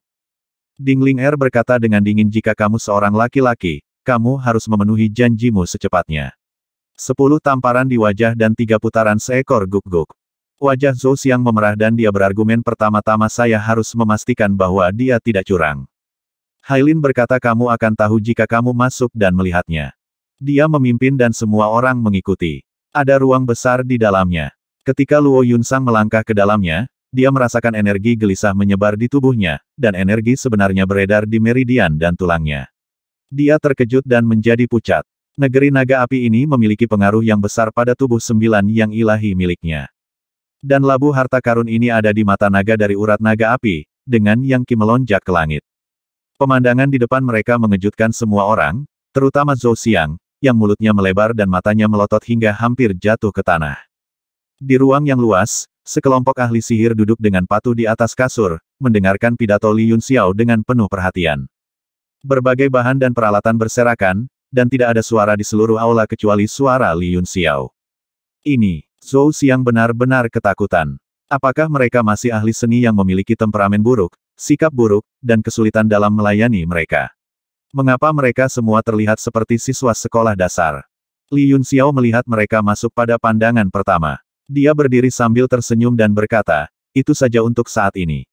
Mari kita cerna. Tuan Hailin dan Kapten Zhou Xiang ada di sini. Wow, semua ahli seni berdiri dan berbalik untuk menatap Zhou Xiang dan yang lainnya, mata semua orang dipenuhi api dan mereka sangat marah. Zhou Xiang dan yang lainnya merasakan kemarahan yang luar biasa datang dari langit tanpa alasan, hampir udara di sekitar mereka terbakar. Seorang lelaki tua berambut putih bergegas, itu adalah Fang Rui, dia menunjuk ke beberapa orang dengan jari gemetar dan berteriak kalian, beraninya kalian mengganggu ajaran guru Yun Sao, kalian semua pantas mati. Beginikah cara kelompok tentara bayaran pemulamu memperlakukan master seni? Kemacetan yang telah menggangguku selama lebih dari 10 tahun tiba-tiba terbuka. Kamu, beraninya kamu menghancurkan benda suci seperti itu. Ini sangat menjengkelkan. Sepertinya aku melihat pintu seni sihir terbuka untukku, dan itu semua adalah kamu. Seorang alkemis sihir sangat marah dan berkata kelompok tentara bayaran pemula sangat menghormati alkemis sihir kami. Aku kontrak yang saya tanda tangani bersamamu akan segera habis masa berlakunya, jadi aku tidak akan menyimpannya. Ya, kontrakku akan segera berakhir dan aku akan meninggalkan kelompok tentara bayaran pemula. Aku telah menyempurnakan ramuan dan senjata untukmu sepanjang hari, tapi aku bahkan menyela ceramah kita. Benar? Ayo pergi. Ayo ikuti Tuan Yun saat kontraknya habis. Kita tidak ingin berlama-lama di tempat orang pembawa sial ini. Aku akan pergi ke mana pun Tuan Yun pergi.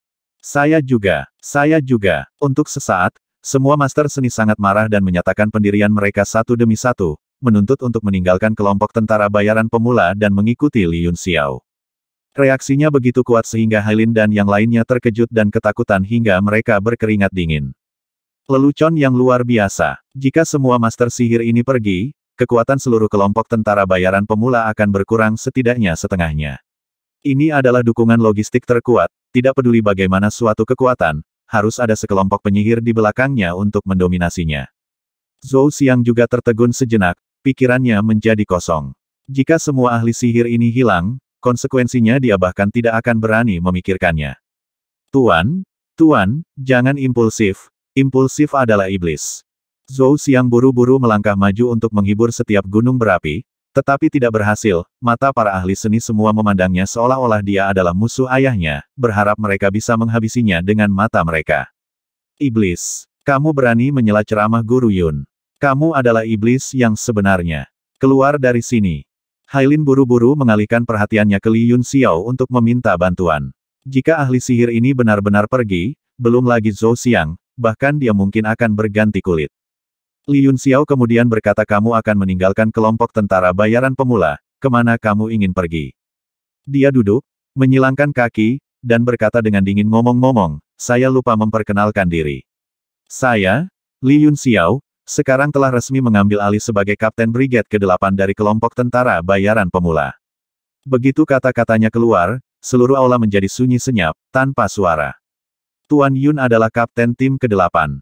Semua ahli seni terkejut saat itu juga, ekspresi wajah mereka berubah dari kaget menjadi ekstasi, semuanya memerah karena kegembiraan, dan beberapa tidak bisa menahan diri.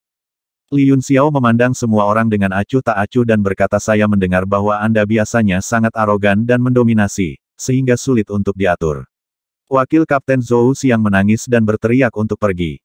Tidak, tidak, bukan itu masalahnya. Semua pemurni keterampilan khawatir, dan Fang Rui buru-buru membela kita semua mudah didekati, ramah, lembut dalam tindakan kita, dan sopan dalam memperlakukan orang lain. Kita tidak akan pernah bertindak seperti pemurni keterampilan. Benar kan, Wakil Kapten Zhou? Dia menoleh untuk melihat Zhou Xiang, matanya lebih lebar dari bel tembaga, dan dia menatap tajam. Zhou Xiang terpana oleh cahaya itu. Kontras yang sangat besar antara penampilan para master sihir ini membuatnya merasakan kesedihan yang tak terlukiskan. Wajahnya penuh kesedihan, dan dia terisak semua master adalah tuan-tuan, lembut dan lembut, lembut dan baik hati, perhatian, kata-kata yang sopan, selembut batu giok, wow, wow, wow. Berbicara tentang sisanya, segala macam keluhan tidak dapat lagi diredam, dan saya berjongkok di tanah dan menangis dalam pelukan. Ya, semua ahli seni buru-buru berkata kita semua adalah orang-orang yang sopan dan lembut. Mulai sekarang, Guru Yun Xiao tidak akan berani melanggar perintah. Hailin dan Zhu Lei keduanya memiliki wajah pucat. Mereka melihat kelompok master sihir yang biasanya sombong dan sombong ini dengan lubang hidung menghadap ke langit. Pada saat ini, mereka membungkuk di bawah kursi Li Yun Xiao dan bersumpah. Mereka merasa sangat tidak bahagia. Ini nyata dan memiliki nuansa fantasi. Zulei menelan ludahnya dan berkata dengan datar Tuan Yun Xiao pandai dalam serangan mental. Apakah yang kita lihat adalah halusinasi? Hailin juga menepuk keningnya dan merasakan sakit. Ketika saya melihat Zhou Xiang berjongkok di tanah dan menangis sedih, menurut saya itu tidak palsu. Li Yun Xiao mengerutkan kening dan berkata tapi, sepertinya kontrak semua master akan segera berakhir. Saya benar-benar tidak yakin apakah kelompok tentara bayaran pemula akan memperbarui kontrak dengan Anda. Lebih baik saya bertanya pada Master Hailin. Pemurni teknik dari kekuatan besar umumnya mengadopsi sistem perekrutan, menyediakan berbagai macam bahan dalam jumlah besar untuk budidaya mereka, sehingga mempertahankan mereka untuk disempurnakan sendiri. Hanya sedikit ahli sihir yang benar-benar bergabung dengan kekuatan tertentu, yang setara dengan membatasi diri mereka sendiri sepenuhnya. Bagaimanapun, tujuan akhir dalam benak semua ahli pemurnian sihir adalah, tanpa kecuali, tanah suci pemurnian sihir, lautan transformasi. Kontrak. Seorang penyihir buru-buru berlari ke Hailin dan memohon Tuan Hailin, izinkan saya memperbarui kontrak saya dengan Rookie Mercenary Group. Kontrak tersebut harus diperbarui setidaknya selama 50 tahun. Dan saya, 50 tahun tidaklah cukup, saya ingin memperbarui kontrak saya untuk 100 tahun lagi. 100 tahun. Kamu sudah berusia lebih dari 100 tahun. Aku ingin menandatangani kontrak seumur hidup dan tinggal di kelompok tentara bayaran pemula selama sisa hidupku. Saya juga menginginkannya, kontrak seumur hidup. Tetapi harus tertulis dalam kontrak bahwa Tuan Yun Xiao harus berada dalam kelompok tentara bayaran pemula. Jika Tuan Yun Xiao pergi, saya akan pergi juga. Ya, ya, Tuan Yun Xiao, kami di sini. Jika Tuan Yun Xiao pergi, kami akan pergi. Hailin dibentengi dalam sekejap. Dia ingat bagaimana ayahnya memohon para ahli sihir ini untuk tetap tinggal. Berbagai kondisinya keterlaluan. Dia harus melihat wajah pihak lain dan mengikuti kebiasaan mereka sebelum menandatangani kontrak selama lima tahun. Kontrak. Sekarang semua orang menangis dan secara aktif meminta untuk menandatangani kontrak seumur hidup kontras ini. Yang lebih mengejutkannya adalah meskipun mereka menandatangani kontrak seumur hidup, orang yang mengikat mereka bukanlah kelompok tentara bayaran pemula, tetapi Li Yun Xiao. Jika Li Yun Xiao pergi, konsekuensinya. Kepalanya terasa berat untuk sesaat, dan dia tenggelam oleh tangisan dari sekeliling yang meminta kontrak seumur hidup. Dia merasa bahwa dia tidak dapat mengatasi situasi seperti ini sama sekali, dan buru-buru berteriak cepat, cepat, Komandan Zuo, pergi dan suruh semuanya ke sini. Bawakan aku semua kontrak majikan dan telepon ayahku. Siapa yang membuat keributan di tim kedelapan saya? Tidak ada kedamaian. Tiba-tiba terdengar suara gemuruh dari belakang Ola, dan seorang lelaki tua berambut putih bergegas keluar dengan wajah marah. Dia melihat sekeliling dan berteriak apa yang kalian semua lakukan. Ada air mata di setiap wajah kalian. Siapa itu? Apakah aku mengganggumu? Saya dengar seseorang ingin menandatangani kontrak seumur hidup. Apakah Anda bodoh? Mata lelaki tua itu melebar dan dia menatap tajam ke arah semua orang, tetapi dia menemukan bahwa semua orang terlihat acuh tak acuh dan penuh tekad, tidak tergerak oleh kata-katanya. Tuan Lu, Fang Rui buru-buru melangkah ke depan dan berkata ini adalah kapten baru dari tim ke-8. Kami semua bertekad untuk mengikuti kapten. Jika kapten tetap di sini, kami di sini, jika kapten pergi, kami pergi. Oh, lelaki tua itu meliriknya dengan curiga dan mendengus sekelompok orang tak berdaya. Siapa yang bisa membuatmu menjual kebebasanmu dan menandatangani kontrak seumur hidup? Aku ingin melihat siapa kapten barunya. Suci. Dia mendorong semua orang menjauh dan melihat ke aula. Semua orang terkejut, Tuan Lu adalah pemimpin dari semua ahli seni. Dia juga seorang penyihir puncak tingkat 5, dan memiliki temperamen yang sangat buruk, jika dia berkonflik dengan Tuan Yun Xiao dan menyinggung perasaannya. Tepat ketika semua orang khawatir dan membuat tebakan acak. Mata Tuan Lu terbuka lebar. Dia memandang Li Yun Xiao dengan mulut terbuka lebar. Dia bergegas ke arahnya dan meratap dengan keras Tuan, Tuan. Akhirnya biarkan aku bertemu denganmu lagi. Dia setengah berlutut seperti anak kecil. Dia berlutut di dalam di depan Li Yun Xiao dan berseru guru, terimalah lutut saya. Mulai sekarang, saya, Lu Sun, akan mengikuti Anda. Guru, mohon jangan tinggalkan saya. Dia terus meraih kaki Li Yun Xiao dengan tangannya. Rambut Li Yun Xiao berdiri tegak, dan dia buru-buru menendangnya pergi dan berkata dengan marah menjauhlah dariku, aku tidak tertarik pada laki-laki. Jika kamu ingin mengikutiku, tanyakan dulu pada kelompok tentara bayaran pemula apakah kamu setuju. Orang tua ini tidak lain adalah Lusun yang dia temui sebelumnya, setelah menerima wahyu Li Yun Xiao, dia membenamkan dirinya dalam menyempurnakannya, dan dia berhasil dengan cepat. Pemurnian berjalan lancar seperti yang diharapkan, dan kemacetan yang telah lama dia alami langsung terlepas, dan dia hampir langsung naik ke level ke-6. Kelompok tentara bayaran pemula, Lusun tertegun, buru-buru berdiri, berlari menuju Hailin, dan berteriak Tuan Hailin, segera dapatkan kontrak saya, saya ingin menandatangani perjanjian seumur hidup. Tuan Yun Xiao bersama saya, saya akan pergi segera setelah Tuan Yun Xiao pergi. Hailin sakit kepala, dan sakit kepala lainnya datang. Bentak. Tiba-tiba tamparan keras terdengar di aula, Zhou Xiang menundukkan kepalanya dan menamparkan dirinya sendiri berulang kali, berkata dengan getir Tuan Muda Yun, Anda akan menjadi bos saya mulai sekarang. Apa pun yang Anda katakan, tetaplah apa pun yang Anda katakan, bahkan jika Anda memaksa saya makan sial, aku juga akan pergi. Bentak, bentak, dia menamparnya berulang kali, total sepuluh tamparan keras, dan kedua sisi wajahnya memerah karena tamparan itu. Pada awalnya, dia benar-benar tidak bisa bergerak. Bagaimanapun, dia adalah kaisar bela diri yang kuat. Dia adalah makhluk yang kuat dalam kekuatan apa pun. Tapi melihat semua master seni yang biasanya sombong berlutut di tempat, dia sepertinya tidak merasa malu setelah ditampar seperti ini beberapa kali. Beberapa tamparan berikutnya membuatnya semakin bahagia, dan rasa malunya mati rasa karena tamparan itu, dan dia tidak lagi merasakannya sama sekali. Sebaliknya, saya merasa sangat bangga dan senang bisa mengikuti Li Yun Xiao, setidaknya saya bisa mengikutinya jika saya mau tanpa menandatangani kontrak apa pun. Dan para master seni tingkat tinggi ini harus menandatangani kontrak seumur hidup agar memenuhi syarat untuk mengikutinya. Memikirkan hal ini, semakin banyak dia menamparkan, semakin dia bangga, beberapa tamparan terakhir bahkan lebih keras, dan wajahnya bengkak seperti sanggul. Wakil Kapten, apa yang kamu? Li Yun Xiao membuka mulutnya karena terkejut dan berkata dengan bingung metodemu menunjukkan kesetiaan terlalu aneh. Aku sudah melihat banyak hal. Zhou Xiang menyentuh wajah bengkak di kedua sisi, menggelengkan kepalanya berulang kali dan berkata seharusnya begitu, seharusnya begitu. Saya orang yang sangat bodoh, saya harus dipukuli, saya harus dipukuli. Dia diam-diam memandang ke arah Ding Linger, dengan tatapan berdoa di matanya. Ding Linger tersenyum sedikit dan mengerti. Dia tahu apa yang dimaksud Zhou Xiang. Bagaimanapun, pihak lain adalah seniman bela diri yang kuat. Dia berani menamparkan sepuluh tamparan keras di depan semua orang. Dia sudah mengumpulkan keberanian yang besar. Berlutut guk-guk saya tidak bisa melakukan tiga putaran pendakian, jadi saya memintanya untuk membatalkan. Melihat Ding Ling Er mengangguk dengan lembut, Zhou Xiang menghela nafas lega dan dipenuhi dengan kegembiraan. Meskipun semakin banyak tamparan yang dia terima, dia menjadi semakin bangga, tetapi jika guk-guk itu bangkit, dia mungkin tidak akan pernah bisa mengangkat kepalanya lagi di kelompok tentara bayaran pemula. Sulei bergegas menuju markas secepat mungkin. Semua ahli sihir harus menandatangani kontrak seumur hidup.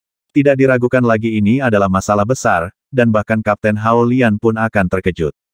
Kontrak, kontrak. Zulei bergegas ke markas dengan seluruh kekuatannya, masuk ke kamar Hai Beifei tanpa memberitahunya, dan tersentak Hai, Kapten Hai, kontrak, kontrak. Dia terbang begitu cepat sehingga seluruh energinya habis dalam satu tarikan napas, dan dia tidak bisa bernapas untuk beberapa saat. Hai Bei Fei menunjukkan ekspresi tidak senang, mengerutkan kening dan berkata kamu panik dan tidak memiliki ketenangan sama sekali. Apakah kamu masih terlihat seperti seorang pejuang? Ini adalah markas dari Rookie Mercenary Group. Bahkan jika langit runtuh, aku akan melakukannya tahan. Zulei menggelengkan kepalanya, menarik napas dalam-dalam, dan berkata kontrak, semua master seni bela diri, kontrak master. Semua master seni bela diri harus membatalkan, membatalkan kontrak asli, menandatangani, menandatangani. Apa? Hai Bei Fei meraung, aura di tubuhnya tiba-tiba menghilang, dan energi yang sangat kuat meledak, Zulei terpesona oleh energi tersebut. Hai Bei Fei mengambil langkah, sosoknya lebih dari 10 meter jauhnya, dan menangkap Zulei yang terbang di tangannya. Wajahnya muram dan menakutkan, dan dia berkata dengan suara dingin apakah sesuatu terjadi pada Li Yun Xiao. Semua itu ahli seni bela diri harus mengakhiri kontrak mereka secara kolektif. Zulei awalnya menderita energi dan darah yang lesu, tetapi ketika dia dilarikan oleh energinya, seteguk darah menyembur keluar dan tersangkut di tenggorokannya. Dia mati-matian mencoba menjelaskan, tetapi begitu dia membuka mulutnya, gelombang darah mengalir deras dan mengalir ke tenggorokannya. Lei sangat khawatir. Dia menggelengkan kepalanya dan menganggukkan kepalanya dengan putus asa, gemetar dan mengangguk untuk beberapa saat. Semakin cemas dia, semakin bingung dia jadinya. Dia membuka mulutnya dan menggerakkannya beberapa kali, dan baunya darah muncrat. Brengsek. Hai Bei Fei langsung mengusir Zulei dan meraung tim ke-8 adalah fondasi logistik resimen kami. Li Yun Xiao, jika seorang master pergi, saya pasti akan merobek tulang Anda. Dia berubah menjadi seberkas cahaya dan menuju ke barat kota dalam sekejap, menghilang dari cakrawala dalam sekejap mata. Zulei terlempar oleh Hai Bei Fei dan terbang ratusan meter sebelum berhenti. Mendengar suara gemuruh yang datang dari udara dan menyaksikan cahaya menghilang ke langit, dia berkeringat dingin. Masalahnya besar sekarang, dengan kekuatan dan kemarahan Hai Bei Fei, dia tidak akan memukul Li Yun Xiao sampai mati begitu saja, bukan? Itu. Memikirkan hal ini, dia bergidik, menyalahkan dirinya sendiri karena terburu-buru dan tidak menunggu sebentar, jika terjadi sesuatu, bagaimana dia bisa memikul tanggung jawab sebesar itu. Dia buru-buru mengeluarkan banyak pil dan memasukkannya ke dalam mulutnya, dan mengejarnya dengan seluruh kekuatannya, tetapi dengan kecepatannya, bagaimana dia bisa mengejar Shanghai Beifei. Kecepatan seorang pejuang yang kuat bisa mencapai ribuan mil dalam sekejap. Hai Beifei mencapai bagian barat kota dalam beberapa kedipan, dan domain di tubuhnya menyebar secara langsung, meliputi seluruh markas tim ke-8. Saat berikutnya, sosoknya muncul tepat di luar gedung bawah hulu, dan gelombang suara menyebar, hampir meledakkan seluruh ruangan. Li Yun Xiao, kamu mencari kematian. Li Yun Xiao di aula langsung dikunci oleh aura pembasmi yang kuat, dan kemudian gelombang suara yang tajam datang di udara.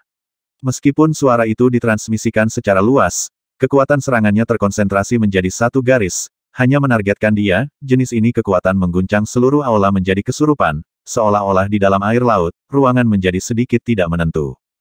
Seluruh tubuh Li Yun Xiao terasa dingin, semua pori-porinya langsung terbuka, dan bau kematian datang. Serangan Hai Bei Fei terlalu mendadak. Jika dia bersiap, dia bahkan bisa menerima pukulan dari Kaisar Wu. Namun lawan datang dengan tergesa-gesa dan tiba-tiba menyerang, kekuatan martial Lord Bintang Dua bergegas pergi, membuat pori-porinya membengkak dan niat menghabisi menembus ke dalam tubuhnya. Pada saat ini, Lusun meraung dan bergegas maju, menghalangi Li Yun Xiao dengan tubuhnya. Matanya bersinar dengan ekspresi tekad dan tekad. Dia adalah penyihir puncak tingkat lima, dan kesadaran spiritualnya jauh lebih kuat daripada orang biasa. Segera setelah itu, Fang Rui juga melangkah maju. Keduanya bergerak maju dan mundur, membuka tangan untuk melindungi Li Yun Xiao. Li Yun Xiao terkejut dan pupil matanya tiba-tiba melebar. Kehangatan mengalir di hatiku, dan aku melihat dua lelaki tua berambut abu-abu berdiri di depanku. Mereka tidak melindungi diri mereka sendiri, tetapi seni tertinggi yang mereka rindukan di dalam hati mereka. Mereka tidak mengenal Li Yun Xiao, tetapi mereka melihat tujuan yang tidak dapat dicapai dalam diri Li Yun Xiao. Meskipun aku tidak dapat mencapainya, hatiku mendambakannya. Dalam perjalanan sejarah yang panjang, Tak terhitung banyaknya pembela yang muncul di jalan tanpa akhir ini, mengabdikan hidup mereka untuk menjaga iman kepada roh kudus di dalam hati mereka.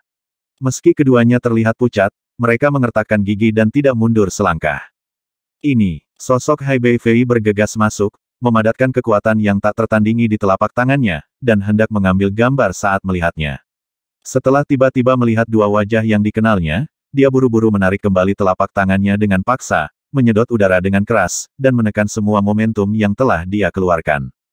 Kekuatan Wuzun, meski hanya sisa kekuatan, bukanlah sesuatu yang bisa dihentikan oleh kedua lelaki tua ini.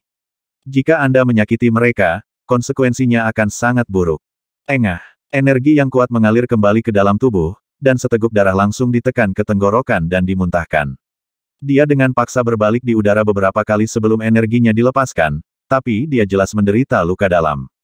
Penghentian paksa energi sebenarnya seperti ini akan menyebabkan kerusakan besar pada tubuh, dan semakin tinggi tingkat kultivasi, semakin besar pula reaksi baliknya.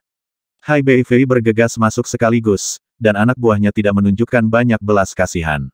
Sekarang dia harus menanggung semuanya. Ada ledakan energi dan darah di tubuhnya, dan dia merasa meridiannya rusak lebih dari sepuluh tempat.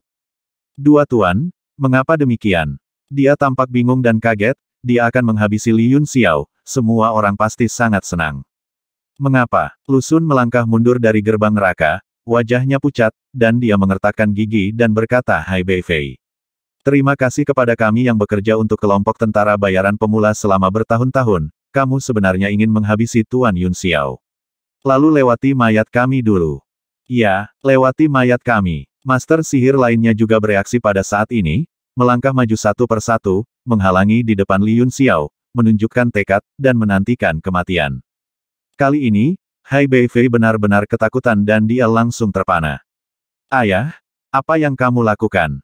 Hailin juga bergegas maju, menuduhnya dengan ekspresi marah di wajahnya. Belum lagi Li Yun Xiao menyelamatkan nyawanya beberapa kali, dan keahliannya sangat dipuji dan dihormati oleh banyak master. Jika dia mati di sini, dia pasti akan menimbulkan masalah besar. Ini, Hai Bei Fei tercengang dan berkata, bukankah Li Yun Xiao menyinggung semua tuan? Tersinggung. Fang Rui berkata dengan marah orang yang menyinggung kami adalah Anda, Kapten Hai. Saya berhenti, tolong pekerjakan orang lain. Aku juga tidak akan melakukannya. Aku sangat marah. Aku juga, setelah bekerja keras selama beberapa tahun, aku sebenarnya ingin menyakiti Tuan Yun Xiao.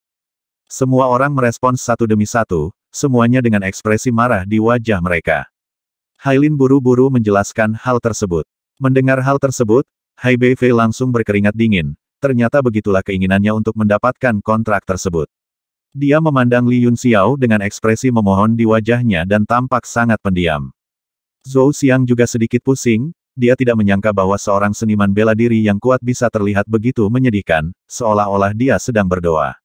Dia tiba-tiba merasa pinggangnya menjadi sangat lurus, dan dia merasa bahwa sepuluh tamparan yang dia tampar sebelumnya sangat penting dan berharga.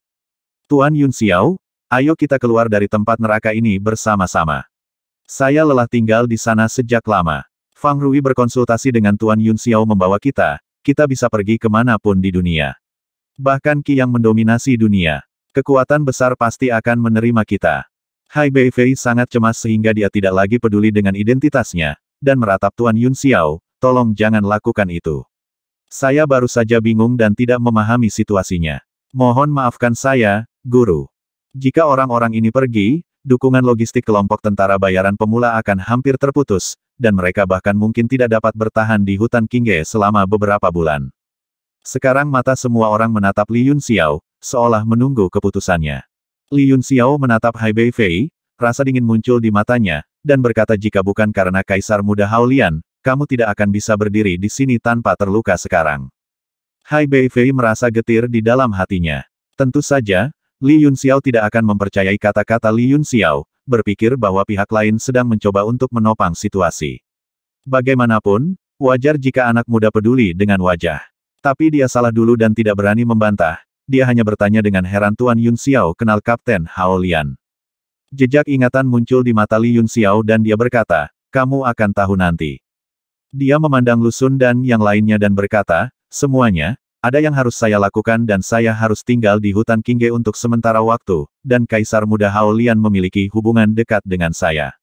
Saya harap Anda akan terus tinggal di grup tentara bayaran pemula untuk membantu. Lusun mengerutkan kening dan berkata, akankah Tuan Yun Xiao pergi di masa depan? Kami berharap dapat mengikuti guru. Dia menunjukkan ekspresi kerinduan. Saya ingin mengikuti Master. Semua orang berteriak hampir serempak, dengan tekad dan keinginan di wajah semua orang. Li Yunxiao tersenyum sedikit dan berkata dengan emosi saya tidak akan pergi dalam jangka pendek. Saya dapat memahami suasana hati Anda. Selama periode waktu ini, saya akan memberitahu Anda semua masalah yang Anda hadapi dalam bidang ini. Dan ini akan saya sampaikan King Woodland sering terjadi di masa depan. Setiap orang memiliki sedikit rasa kesepian, tetapi berpikir bahwa mereka dapat berkonsultasi sebanyak mungkin teknik selama periode ini, mereka segera menjadi bersemangat lagi. Semua orang bersiap-siap, dengan putus asa membuat daftar apa yang ingin mereka usulkan dalam pikiran mereka. Pertanyaan. Hai Bei Fei menghela nafas lega, dan sedikit keterkejutan muncul di matanya, sepertinya anak laki-laki ini benar-benar mengenal pemimpinnya, dan sepertinya memiliki persahabatan yang baik dengannya. Apakah dia anak tidak sah dari ketua kelompok? Atau anak seorang teman lama. Dia sudah lama berpikir liar. Setelah Li Yunxiao menenangkan semua ahli seni, dia berkata kepadanya tolong, Kapten Hai, tolong cari tahu berita tentang pohon cemara secepat mungkin. Dan saya tidak ingin apa yang terjadi hari ini terjadi lagi. Pasti, pasti. Hai Bei Fei berkeringat dingin di dahinya, dan dia takut hanya memikirkan apa yang terjadi hari ini. Tiba-tiba sesosok tubuh bergegas masuk dari aula, berteriak sekuat tenaga Kapten Hai, tidak, jangan mengambil tindakan terhadap Tuan Yun Xiao. Pria ini tidak lain adalah Zulei. Dia berlari bolak-balik. Kekuatan fisiknya telah lama habis. Sekarang dia bergantung sepenuhnya pada pil untuk mendukungnya. Dia takut menyebabkan bencana dan hampir kehabisan kekuatan nafas terakhirnya. Hai Bei Fei berkata dengan marah ini semua salahmu karena tidak menjelaskannya. Dengan lambaian tangannya, angin kencang langsung menerpa, langsung mengangkat Zulei yang hendak roboh, dan meniupnya ratusan meter jauhnya, berubah menjadi titik hitam kecil dan menghilang di langit. Hailin, Hai Bei Fei berkata Tuan Yun Xiao, bagian barat kota ini adalah tempat bercampurnya ikan dan naga. Tidak ada satupun dari tiga kelompok tentara bayaran besar yang lebih unggul, dan pembagian wilayah sangat rumit. Demi alasan keamanan, tim ke-8 telah menyiapkan dua wakil kapten. Tunggu, saya akan mengirim Binji sesegera mungkin untuk melindungi keselamatan Master bersama dengan Zhou Xiang. Sekarang Li Yunxiao tidak hanya terkait dengan cedera Hailin, tetapi juga terkait langsung dengan stabilitas tim master sihir kelompok tentara bayaran pemula, itu harus menjadi prioritas utama. Binji yang malang baru saja pergi, jika dia mendengar berita itu, dia mungkin akan menabrak tembok dan mati di tempat. Setelah Hai Bei Fei memperingatkan Zhou Xiang dan yang lainnya untuk beberapa saat, dia menemukan bahwa suasana di tempat kejadian sangat dingin, semua master seni memandangnya dengan acuh tak acuh, dengan rasa permusuhan di mata mereka. Tiba-tiba saya tersenyum pahit dan merasa sangat gugup dan sakit kepala. Jika Li Yunxiao mengubah sikapnya atau pergi, saya benar-benar tidak tahu bagaimana membereskan kekacauan ini. Untungnya, pihak lain tampaknya benar-benar memiliki hubungan dengan Kapten Hao Lian, saya harap demikian. Kalau tidak, akan ada masalah besar. Dia merasa bosan untuk beberapa saat, lalu dia dan Hailin pergi dengan kesal. Zhou Xiang berkata Kapten, situasi di barat kota sangat rumit. Mengapa Anda tidak berjalan-jalan dengan saya karena ini masih pagi? Li Yun Xiao berpikir sejenak dan berkata oke, karena saya telah mengambil alih posisi ini, mari kita lakukan dengan baik. Awalnya, saya tidak tertarik. Setelah dia menjelaskan beberapa hal dan menunjukkan beberapa masalah kepada semua pemurni seni, semua orang pergi dengan kepuasan dan melanjutkan pemurnian. Luo Yunsang tiba-tiba berkata Tuan Muda Yun, energi yang di sini sangat murni dan tampaknya memberikan manfaat besar bagi tubuh saya. Saya berencana untuk berlatih dalam pengasingan sebentar. Li Yun Xiao berkata tidak apa-apa, ini memang tempat yang langka di Zhengyang. Tapi saya selalu merasa sedikit aneh, Anda dapat berlatih di sini sekarang. Ini akan sangat baik untuk sembilan yang Zenki Anda. Li Yun Xiao, Zhou Xiang, dan Ding Linger pergi bersama. Setelah memasuki wilayah di sebelah barat kota, Li Yunxiao menemukan bahwa bagian barat kota jauh lebih besar daripada tiga kota lainnya. Tidak hanya besar, tetapi juga sangat makmur sehingga terlihat seperti kota biasa. Saling menahan diri dari tiga kelompok tentara bayaran utama memberi ruang bagi pasukan ikan lainnya untuk bertahan hidup, dan ini menghadirkan pemandangan seratus bunga bermekaran. Tetapi hal-hal yang mekar seperti seratus bunga semuanya merupakan perbuatan jahat. Pada saat yang sama, hal ini juga menyebabkan masalah besar lainnya, kekacauan dalam keamanan publik. Karena tidak ada aturan dan regulasi, tempat ini memiliki jumlah kematian tertinggi setiap hari di Kingge Woodland. Namun sejumlah besar pejuang masih berdatangan dengan gembira, karena kebahagiaan terbesar di sini adalah tidak ada aturan dan batasan. Zhou Xiang memperkenalkan sambil berjalan meskipun tugas utama tim ke-8 adalah memberikan dukungan pemurnian bagi banyak ahli sihir, tampaknya tim tersebut didedikasikan untuk dukungan logistik di mata orang lain. Namun pada kenyataannya, kekuatan tempur secara keseluruhan juga termasuk di antara delapan tim. Salah satu yang terbaik, karena tim ke-8 terlalu penting.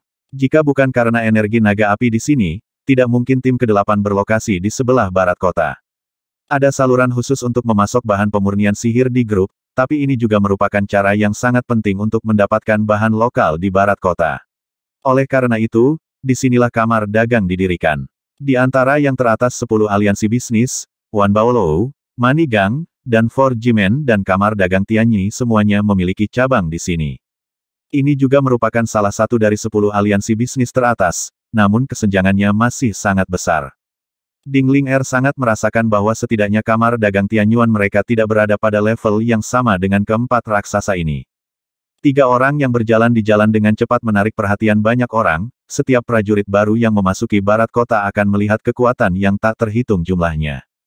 Terutama Dingling Er, seorang gadis kecil yang lembut, memancarkan aura murni dan halus dari seorang gadis cantik, dengan bibir merah dan gigi putih, dia tampak seperti perawan pada pandangan pertama, dan segera menarik perhatian semua pria. Dingling Er merasakan mata hijau seperti serigala di sekelilingnya, dan dia merasa sangat marah hingga seluruh tubuhnya menjadi berbulu. Zhou Xiang melihatnya sangat tidak nyaman dan berkata sambil tersenyum itulah yang terjadi di sini. Penuh dengan pria yang menjilat darah dari pisau mereka. Mereka brutal dan kejam, dan mereka semua mabuk dan penuh nafsu. Nona Ding akan terbiasa melakukannya perlahan. Menyesuaikan, wajah Dingling Er menjadi gelap, dan dia berkata dengan dingin menurutku lebih tepat bagi mereka untuk membiasakan diri denganku. Zhou Xiang tercengang dan tidak mengerti apa maksudnya. Dingling Er tiba-tiba mengambil tindakan, dan panah putih ditembakkan tanpa peringatan apa pun. Seorang lelaki tua dengan ekspresi penuh nafsu di jalan yang membuatnya ingin muntah ketakutan sia-sia. Dia berteriak dan mencoba menghindarinya, tetapi panah itu terlalu terang. Terlalu cepat. Tidak mau. Wajah Zhou Xiang berubah drastis, dan dia ingin menghentikannya karena terkejut, tetapi sudah terlambat. Ledakan. Orang tua itu tidak bisa menghindarinya dan hancur berkeping-keping, daging cincang dalam jumlah besar dan bau darah menyebar di udara. Ledakan itu segera mengejutkan semua orang, dan mereka semua mengalihkan pandangan mereka, ekspresi sembrono berubah menjadi ekspresi serius dan suram satu persatu. Dingling Er mengucapkan setiap kata dengan dingin hal lain yang membuatku merasa tidak nyaman adalah kematian. Zhou Xiang membuka mulutnya lebar-lebar, tidak mampu bereaksi. Aku tidak menyangka wanita cantik yang berpenampilan segar dan imut ini bisa begitu kejam hatinya, dia hanya meliriknya beberapa kali dan menghabisi semua sampah yang tersisa. Bagaimana dia tahu identitas Dingling Er? Meskipun kamar dagang Tianyuan telah menolak, ia masih merupakan entitas terkenal di daratan untuk waktu yang lama. Sebagai putri kebanggaan kamar dagang, dia juga salah satu dari dua wanita cantik di antara sepuluh aliansi pedagang besar. Dia dikelilingi oleh segala macam lampu di hari kerja dan mendapat perhatian dan kekaguman. Kapan dia diperlakukan seperti ini oleh sekelompok serigala lapar? Yesus menatapnya. Sejak memasuki hutan Kingge, hati Dinglinger telah lama terbakar dengan api yang tidak diketahui. Jika Li Yunxiao tidak tinggal di sini, dia akan berbalik dan pergi. Sekarang kita dalam masalah besar. Zhou Xiang tersenyum masam dan menggelengkan kepalanya sedikit, seolah dia sedang sakit kepala. Li Yunxiao bertanya dengan bingung apakah kamu dalam masalah besar. Bukankah banyak orang sekarat di sini setiap hari? Apakah kamu tidak dapat menghabisi orang sesuka hati jika kamu memiliki tinju yang besar?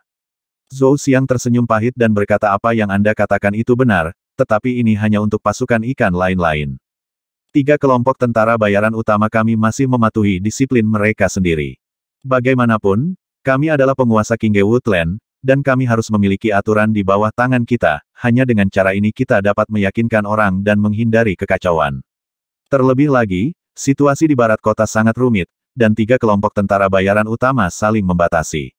Sekarang Nona Ding sedang menghabisi teman-teman, saya khawatir dua kelompok tentara bayaran besar lainnya akan mengambil kesempatan untuk menimbulkan masalah dan menimbulkan masalah. Li Yunxiao tampak acuh tak acuh dan berkata dengan lembut kamu benar, pasti ada aturan di bawah kepalan tangan.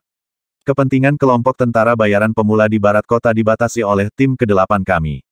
Mulai hari ini, aturan saya adalah aturan. Zhou Xiang sedikit bingung dan berkata apa maksudmu peraturanku adalah peraturan. Li Yun Xiao menatapnya, dengan aura di matanya yang hanya bisa dilihat oleh seseorang yang sudah lama menduduki posisi berkuasa, yang membuat Zhou Xiang merasa berdebar-debar dan kewalahan. Hal ini membuat hatinya kaget, sorot matanya yang acuh tak acuh terhadap hidup dan mati serta mengalami banyak perubahan hidup sama sekali bukan serangan mental, melainkan datang dari hati. Misalnya, siapa pun yang ingin dibasmi Nona Ling Er harus mati. Ini aturanku. Kata-kata acuh tak acuh Li Yun Xiao membuat hati Zhou Xiang bergetar. Sebagai kaisar bela diri yang kuat, dia tidak bisa menahan keringat dingin. Aturan saya adalah aturan. Tidak ada aturan yang sombong di dunia ini. Anda pikir Anda adalah keberadaan Kaisar Wu. Zhou Xiang mengutuk dalam hatinya dan merasakan ketidakberdayaan, dia akhirnya mengerti sekarang bahwa setiap ahli seni itu sombong dan sulit diatur, dan tidak ada pengecualian. Dan jika orang seperti itu menjadi kapten, seluruh tim kedelapan akan mendapat masalah, dan yang lebih serius, itu akan membawa bahaya besar yang tersembunyi bagi tim. Saat kekuatannya berangsur pulih, Arogansi dan semangat mendominasi kehidupan Li Yun Xiao sebelumnya berangsur-angsur muncul. Banyak orang tewas di bawah pedang yang menebas bintang, dan dia sama sekali bukan orang yang penyanyang. Ding Ling Er merasakan arus hangat mengalir di hatinya, dan memandang Li Yun Xiao dengan sedikit tergila-gila. Dengan kata-katanya, tidak peduli seberapa besar ketidakadilan yang dia derita di hutan Kingge ini, itu tetap sepadan. Kematian seorang lelaki tua menimbulkan kegembiraan, tetapi dia segera mendapatkan kembali ketenangannya dan terus melakukan apa yang seharusnya dia lakukan, seolah-olah lelaki tua itu tidak pernah ada. Tetapi ketika semua orang melihat ke arah Ding Ling Er, mereka tidak lagi berani bersikap tidak bermoral, dan mereka semua menunjukkan kewaspadaan. Zhou Xiang bersiul, dan tak lama kemudian bayangan hitam muncul entah dari mana, setengah berlutut di tanah dan membungkuk nomor sembilan memberi penghormatan kepada wakil kapten. Ini adalah anggota tim bayangan dari tim kedelapan kami yang terletak di sebelah barat kota. Mereka bertanggung jawab atas pengumpulan intelijen dan berbagai operasi rahasia. Setelah menjelaskan kepada Li Yun Xiao, dia berkata kepada pria itu ini yang baru kapten tim kedelapan, Tuan Li Yun Xiao. Anda juga melihat apa yang baru saja terjadi, pergi dan atasi akibatnya. Sosok hitam itu mengangkat kepalanya, menatap Li Yun Xiao dengan ekspresi terkejut, lalu buru-buru menundukkan kepalanya dan berkata, ya. Jawabannya tajam dan jelas, tanpa kecerobohan, dan dia menghilang lagi di depan ketiga orang itu. Zhou Xiang berkata hanya ada sembilan anggota tim bayangan, tetapi masing-masing sangat mampu. Jika dia ada di sana untuk menghadapi akibatnya, seharusnya tidak ada masalah. Mata Li Yun Xiao menyipit dan dia berkata sudah terlambat, sepertinya masalah akan datang. Benar saja, dalam beberapa tarikan napas, sejumlah besar prajurit mulai berdatangan dari segala arah, semuanya dengan aura yang sangat kejam. Melihat ada yang tidak beres, beberapa orang kecap di sekitarnya pun melarikan diri, ada juga yang memiliki pengendalian diri yang baik, sehingga mereka tetap tinggal dan berencana untuk menonton keseruan tersebut. Zhou Xiang terkejut dan berkata dengan suara yang dalam tidak. Ini dari kelompok tentara bayaran hujan lebat. Dia buru-buru bersiul lagi, tapi kali ini tidak ada jawaban, dan wajahnya tiba-tiba menjadi gelap. Huff, tidak perlu menyombongkan diri. Aku membawakanmu orang yang ingin kamu telepon. Sebuah suara terdengar di udara, dan tak lama kemudian bayangan hitam jatuh dan jatuh tepat di depan ketiga orang itu. Itu adalah tim bayangan nomor sembilan yang baru saja pergi, wajahnya berlumuran darah dan dia sudah mati. Terlebih lagi, anggota tubuhnya dipelintir dengan cara yang aneh, jelas mengalami banyak penyiksaan sebelum kematiannya. Seorang pria berpakaian putih muncul di udara pada suatu saat, menatap Zhou Xiang dan yang lainnya dengan mata dingin, seolah-olah sedang melihat mayat, tanpa emosi apa pun. Orang-orang menghabisi orang di jalan-jalan di timur kota, dan orang-orang menghabisi orang di jalan-jalan di sebelah barat kota. Kelompok tentara bayaran pemula Anda bertindak semakin tidak bermoral, dan Anda tidak memperhatikan kami kekuatan lain sama sekali. Pria berpakaian putih berkata dengan acuh tak acuh. Pakaian putih itu berdesir di udara saat angin bertiup, dan aura pembasmi yang dingin memenuhi udara dan menyelimuti seluruh tempat. Semua orang menahan diri, mengetahui bahwa tempat ini akan segera berubah menjadi ladang pembantaian. Zhao Yu, Zhou Xiang juga menyapanya dengan mata dingin, dan berteriak dengan penuh semangat saya adalah kelompok tentara bayaran pemula, kapan giliran Anda untuk mendikte? Zhao Yu mencibir jangan berpikir karena kamu memiliki tinju yang besar, kamu dapat mengendalikan hidup dan mati orang lain sesuka hati. Selain itu, Tinjumu tidak lebih dari itu di mataku. Kata-katanya segera membangkitkan niat baik dan semangat dari berbagai kekuatan ikan itu, dan mereka semua setuju. Orang-orang ini telah ditindas oleh tiga kelompok tentara bayaran utama pada hari kerja, tetapi sekarang seseorang maju, mengetahui dengan jelas bahwa mereka memanfaatkan mereka, tetapi mereka semua memelototi Li Yun Xiao dan yang lainnya. Kapten Zhou, meskipun kelompok cross mercenari kita hanya berperan kecil, kita tidak mau dipermalukan. Kesalahan apa yang dilakukan Tuan Huo? Tak disangka pengecut seperti itu dibasmi oleh perempuan jalang itu. Seorang pria bertubuh tegas berkata dengan suara yang dalam, salah satu sisi wajahnya sudah memborok, dan dia memegang pedang besi erat-erat di tangannya. Orang tua yang sudah meninggal, Huo, adalah anggota cross mercenari grup mereka. Ada tujuh atau delapan orang lainnya berdiri di belakang pria besar itu, dengan ekspresi marah terpancar di wajah mereka. Zhou Xiang terdiam sesaat dan mengerutkan kening. Karakter kecil seperti Cross Mercenary Group tidak akan repot-repot menjawab jika mereka menanyainya seperti ini di hari biasa, tapi sekarang Zhao Yu menyebabkan masalah, dia harus menjawab, tapi dia tidak tahu bagaimana menjawabnya. Li Yun Xiao tersenyum dingin kesalahan yang dia lakukan adalah dia terlihat terlalu vulgar. Pria itu menjadi marah dan berteriak siapa kamu? Apakah ini cara kelompok tentara bayaran pemulamu terlalu sering menindas orang lain? Haha, Zhao Yu juga menengadah ke langit dan tertawa, dan berkata dengan bangga kalian kelompok tentara bayaran pemula benar-benar mengira kalian adalah penguasa King Woodland. Mungkinkah Kaisar Muda Haolian telah menerobos ke Kaisar Wu? Bisakah kalian menghabisi semua yang lain? Kekuatan seperti kita. Zhou Xiang juga sempat pusing, Li Yun Xiao memang sama persis dengan para ahli seni yang sombong dan bertele-tele itu, pernyataan ini sama saja dengan menyinggung semua kekuatan. Bagaimana dia bisa seberuntung itu ditugaskan pada bos seperti itu?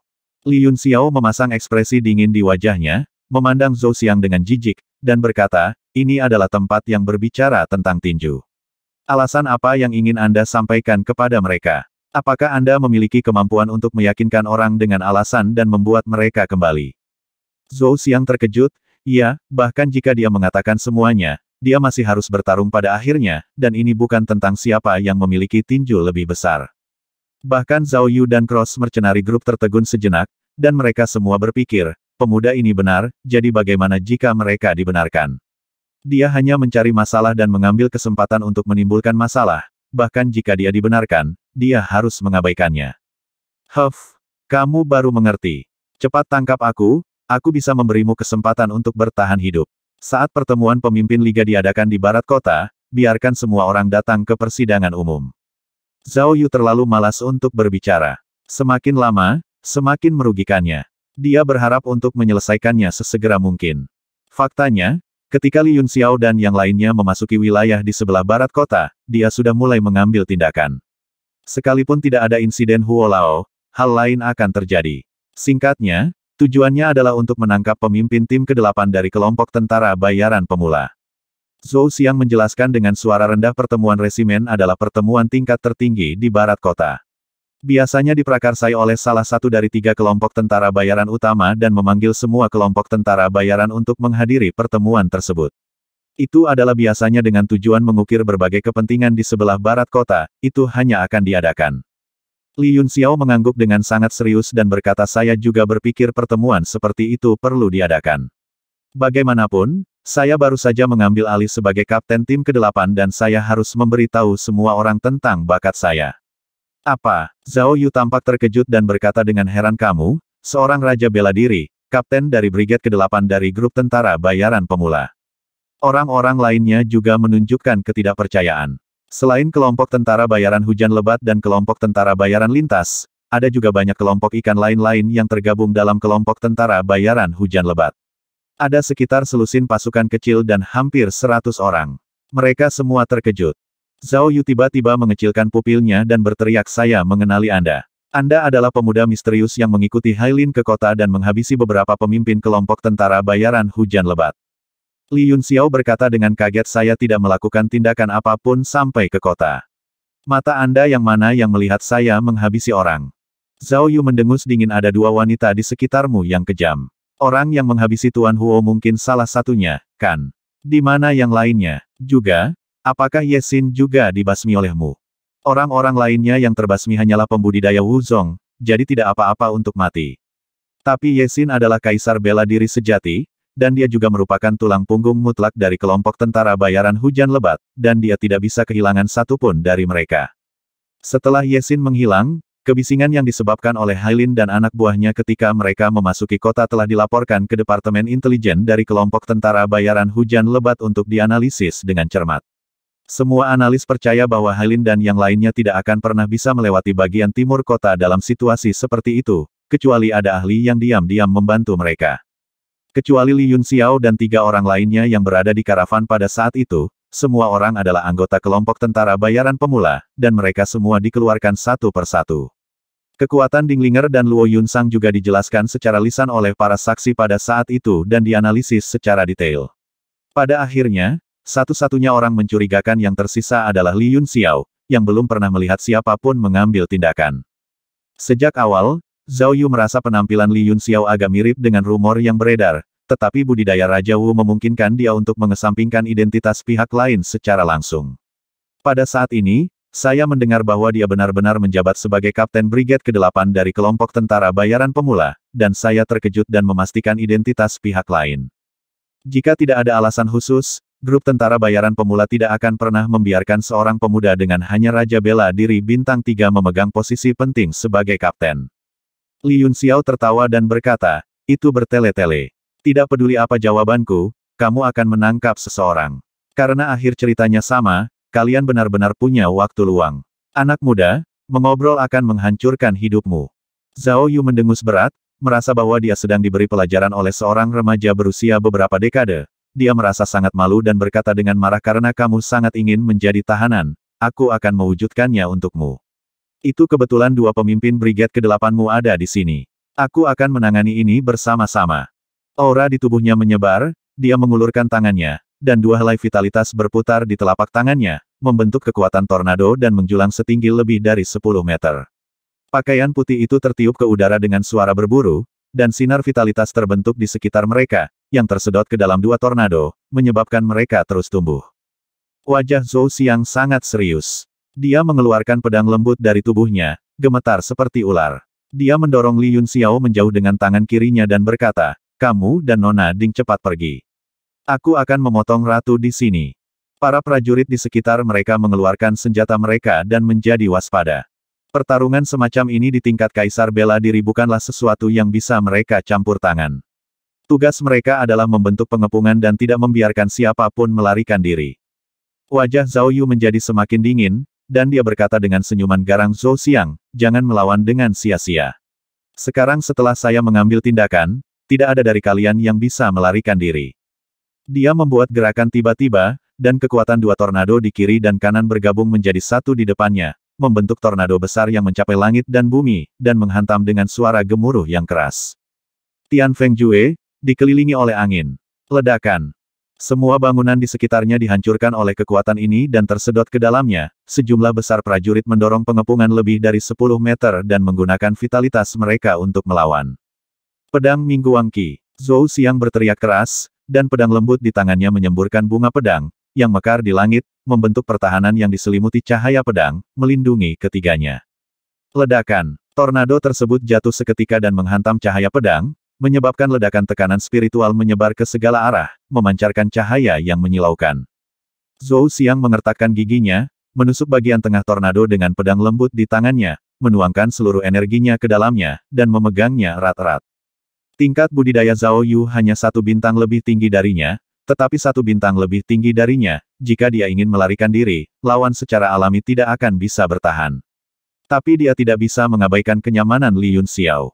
Ini terkait dengan stabilitas tim Master Sihir seluruh kelompok tentara bayaran pemula.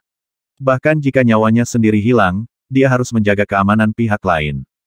Huff, kamu benar-benar mencari kematian jika kamu dengan paksa menolak teknik angin surgawiku. Zhao Yu mencibir, dan kekuatan tornado meningkat lagi dan menekannya. Zhou Xiang mencurahkan seluruh vitalitasnya ke dalam pedang lembut itu. Akhirnya, dia tidak bisa bertahan lebih lama lagi. Pedang itu jatuh dari tangannya dan tersedot oleh kekuatan tornado. Tidak baik. Dia terkejut dan menjadi pucat, dan buru-buru mendorong keluar dengan kedua telapak tangannya, mencoba menggunakan kekuatan terakhirnya untuk membuka pertahanan dan melindungi Li Yun Xiao. Tiba-tiba cahaya kemasan keluar, dan Li Yun Xiao akhirnya mengambil tindakan. Serangkaian kata-kata kecebong emas terbang keluar dari tubuhnya, dan monumen Dewa Dunia langsung menuju ke tornado dan tiba-tiba bertambah besar. Huff, lingkungan anginku bisa menyapu semua senjata mistis. Bahkan prajurit yang berada di atasku dalam budidaya tidak akan pernah berani menyerang dengan paksa. Orang bodoh tidak kenal takut. Kalian semua mencari kematian. Zhao Yu merasa jijik dan mencibir dengan bangga. Tiba-tiba senyumannya membeku, dan monumen Dewa Dunia menyerbu ke dalam tornado, dan terpaku pada mata angin, tidak bisa bergerak. Singkirkan semua senjata misterius itu. Li Yunxiao mencibir kamu adalah orang yang tidak takut di antara orang-orang bodoh. Kamu memiliki kemampuan untuk menyapu bumi, gunung, dan sungai. Dia menamparkan beberapa kata kecebong emas langsung ke monumen Dewa Dunia, dan berteriak irama bumi, tentukan sungai, gunung, dan sungai untukku. Semburan cahaya muncul di monumen Dewa Dunia, namun sia-sia diredam di bumi, dan ritme diturunkan, yang menyebar ke segala arah seperti aturan dunia. Segera, semua prajurit terkejut saat mengetahui bahwa sulit untuk bergerak di bawah kaki mereka, sepertinya sepuluh ribu kali gravitasi ditambahkan pada mereka, dan seluruh tubuh mereka tersedot ke tanah, bahkan membuatnya sulit untuk berdiri kokoh. Zhao Yu terkejut, dan lingkaran anginnya langsung terhempas oleh ritme bumi, berubah menjadi beberapa angin kencang dan menghilang. Pedang Zhou Xiang jatuh dari udara dan tertancap di tanah dengan bunyi dentang, hingga gagangnya hilang. Kekuatan macam apa ini? Senjata gravitasi. Zhao Yu hanya merasakan kekuatan isap yang sangat besar datang dari bumi, mencoba mendorongnya ke bawah. Dia buru-buru mengedarkan vitalitasnya untuk melawan, dan nyaris tidak bisa bertahan di udara. Tapi itu menghilangkan kekuatan besarnya. Tanah di monumen Dewa Dunia adalah ibu dari bumi, dan bahkan angin purba pun tidak dapat berpikir untuk meniupnya. Terlebih lagi, itu hanya teknik pencak silat. Tanah bersahaja ini juga menjadi dasar Li Yun Xiao pergi ke tanah kuno untuk mengumpulkan Gang Feng kuno. Tanpa harta karun untuk menekan Gang Feng, dia tidak akan berani datang gegabah. Apa yang tidak penting? Yang penting kamu akan mati. Kapan? Suara kuno yang mengejutkan terdengar, dan semua orang terkejut dan bingung di lautan kesadaran. Beberapa prajurit dengan budidaya lemah pingsan karena suara bel. Meskipun mereka yang memiliki kekuatan lebih kuat berhasil bertahan, meridian mereka juga rusak. Kemudian dia melihat lonceng kuno besar jatuh dari langit, menghalangi langit menuju kegelapan. Zhao Yu sangat ketakutan saat melihat bel kuno menutupi dirinya. Sajak yang berasal dari lonceng kuno ini menembus langsung ke dalam tubuh, hampir mencabik-cabik tubuh. Senjata misterius tingkat ini membuatnya merinding hanya dengan kekuatannya. Senjata misterius macam apa ini? Tingkat 8, tingkat 9. Level tertinggi yang pernah dia lihat hanyalah eksistensi level ketujuh, tapi tidak akan pernah begitu menakutkan. Zhao Yu meraung dan meledak dengan seluruh kekuatannya, melepaskan diri dari belenggu area yang luas dalam sekejap, mengumpulkan semua vitalitasnya di tinjunya, dan membanting ke arah bel kuno. Kapan? Lonceng kuno itu dibunyikan olehnya dan mengeluarkan suara lagi, dia sendiri langsung terpesona oleh gelombang suara yang dipantulkan. Li Yun Xiao juga terkejut. Kekuatannya untuk mengendalikan lonceng kekaisaran juga sangat terbatas. Di bawah pukulan penuh Zhao Yu, lonceng itu langsung kehilangan kendali. Dia buru-buru mengulurkan tangannya dan membawanya kembali ke tubuhnya. Seluruh orang berubah menjadi seberkas cahaya dan terbang menuju langit. Zhao Yu sangat terguncang oleh gelombang suara dinasti Bell, seluruh tubuhnya terasa sangat tidak nyaman, dan kedua gendang telinganya berdarah. Tubuh itu terus melayang di udara, terbang hingga jarak yang tidak diketahui. Hanya ada satu pemikiran di benaknya senjata misterius macam apa itu. Bagaimana harta karun seperti itu bisa jatuh ke tangan orang lain, saya harus mendapatkannya sendiri. Setelah terbang cukup lama, tubuhnya berhenti dan dia melihat seberkas cahaya datang ke arahnya. Di bawah cahaya, Li Yunxiao tampak tajam dan matanya seperti darah. Hei, penampilan itu, Zhao Yu ditatap oleh pihak lain, dan lautan kesadarannya yang baru saja pulih dari gelombang suara terasa perih lagi, dan seluruh kepalanya hampir meledak. Tidak, ini serangan mental. Dia menutup matanya karena terkejut, tapi sudah terlambat. Ruang di sekitarnya terus berubah, dan pesawat membentang dari jarak yang tak berujung, lewat di depannya satu persatu. Ruang sadar, hati Zhao Yu tiba-tiba tenggelam. Dalam kegelapan di depan, sesosok tubuh yang kuat perlahan-lahan berbalik, mengangkat tinjunya sebesar kaserole, dan perlahan menjatuhkannya. Ke mana pun angin tinju lewat, ruang yang tak terhitung jumlahnya hancur. Hai, Zhao Yu sangat ketakutan hingga dia kehilangan akal sehatnya, meskipun pengaruh ini disebabkan oleh kesadarannya, pengaruh ini sangat nyata dan menakutkan sehingga seolah-olah tinju tersebut dapat menghancurkan dunia empat kutub. Tian Feng Jue, hancurkan semua ini untukku. Dia berteriak sekuat tenaga. Jika dia tidak bisa melarikan diri dari sini sebelum tinjunya jatuh, kesadarannya akan hancur bersama dengan ruang itu, dan tubuhnya akan sepenuhnya berubah menjadi kondisi vegetatif tanpa kesadaran. Pada saat kritis ini, semua kekuatan Kaisar Bela Diri Bintang 6 diaktifkan, dan angin kencang keluar dari tubuhnya, membelah seluruh kehampaan, dan seberkas sinar matahari masuk. Merusak. Zhao Yu sangat bersemangat dan dengan senang hati menyebarkan angin di tangannya, dan seluruh ruangan langsung hancur berkeping-keping. Sosok agung itu juga berangsur-angsur menjauh, dan dunia kesadaran runtuh bersama-sama. Kaisar bela diri bintang 6 dianggap sebagai eksistensi tingkat master di seluruh benua Tianwu. Perbedaan level antara Li Yun Xiao dan dia terlalu besar, dan teknik murid tidak bisa menjebak pihak lain sama sekali. Tepat ketika Zhao Yu keluar, merasa sangat bersemangat, tinju seperti kaserole lainnya jatuh, seberat gunung, dan tekanannya sangat mencengangkan. Di depan Li Yun Xiao, kerikil mengumpulkan kekuatan pukulan dan dirobohkan dengan aura iblis. Batu kecil itu terus-menerus berlatih melalui tanah di monumen Dewa Dunia, dan sekarang seluruh tubuhnya berwarna kuning tanah. Awalnya adalah Raja Binatang Batu, dengan bakat yang sangat kuat. Setelah diberi makan oleh bunda dari bumi, sepertinya masih berevolusi. Apa? Monster Kaisar bela diri. Zhao Yu terkejut, mengapa monster tambahan muncul begitu saja. Dan itu adalah eksistensi setingkat Kaisar bela diri. Dia tidak punya waktu untuk memikirkannya, paksaan membuat seluruh tubuhnya tegang, Tian Feng Jue mencapai puncaknya lagi, dan dia meledak dengan kedua tinjunya. Ketika kedua kekuatan bersentuhan, tenaga angin Zhao Yu terus mundur dan ditekan kembali. Meskipun Xiao Zizi baru saja naik ke level Kaisar Bela Diri, kekuatan elemen tanah adalah musuh bebuyutan prajurit elemen anginnya, selain itu, dia masih terluka, sehingga dia terus kehilangan posisi.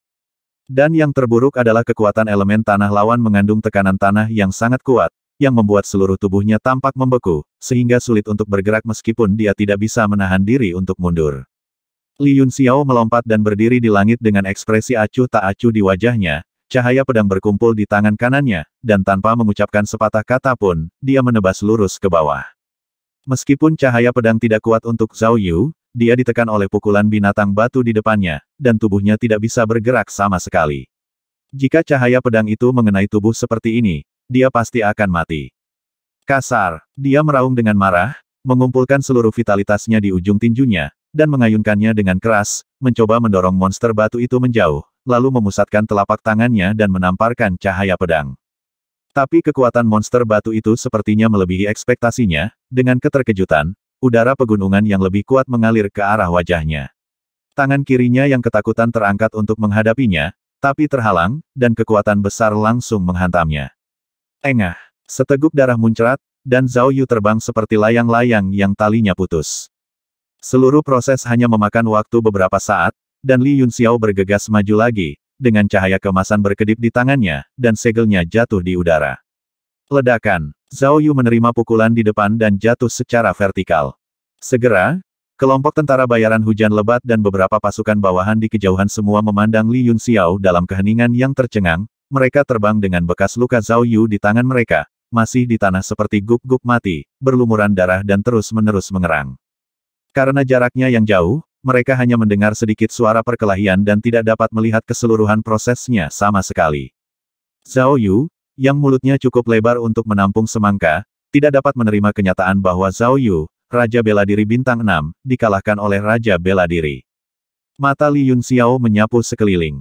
Meskipun mereka hanya capung yang membawa air, semua orang merasa seperti cahaya di punggung mereka, seolah-olah mereka sedang menatap mereka secara khusus. Semua orang menundukkan kepala, tidak berani menatap langsung ke arah mereka. Aku tidak akan menghabisimu, tapi karena kamu berani melawanku hari ini, kamu harus membayar harganya. Dia berkata kepada Zhou Xiang, yang sudah lama tidak dapat pulih bahwa mereka semua pergi dan kirimkan pesan. Pertemuan pahlawan di barat kota akan diadakan dalam tiga hari. Semua kelompok tentara bayaran harus berpartisipasi. Kata-kata yang mendominasi ini sangat mengejutkan Zhou Xiang, seolah-olah semua kekuatan di barat kota seperti bawahannya. Keringat dingin mengucur di dahinya, dan dia secara intuitif merasakan sesuatu yang besar akan terjadi. Dan kapten di depannya menjadi semakin sulit untuk dia lihat. Namun misteri yang tidak dapat dipahami ini membuatnya semakin terpesona. Dia buru-buru mengambil sinyalnya dan melepaskannya segera, prajurit dari kelompok tentara bayaran pemula berkumpul dan membawa semua orang pergi sesuai dengan keinginan Li Yun Xiao.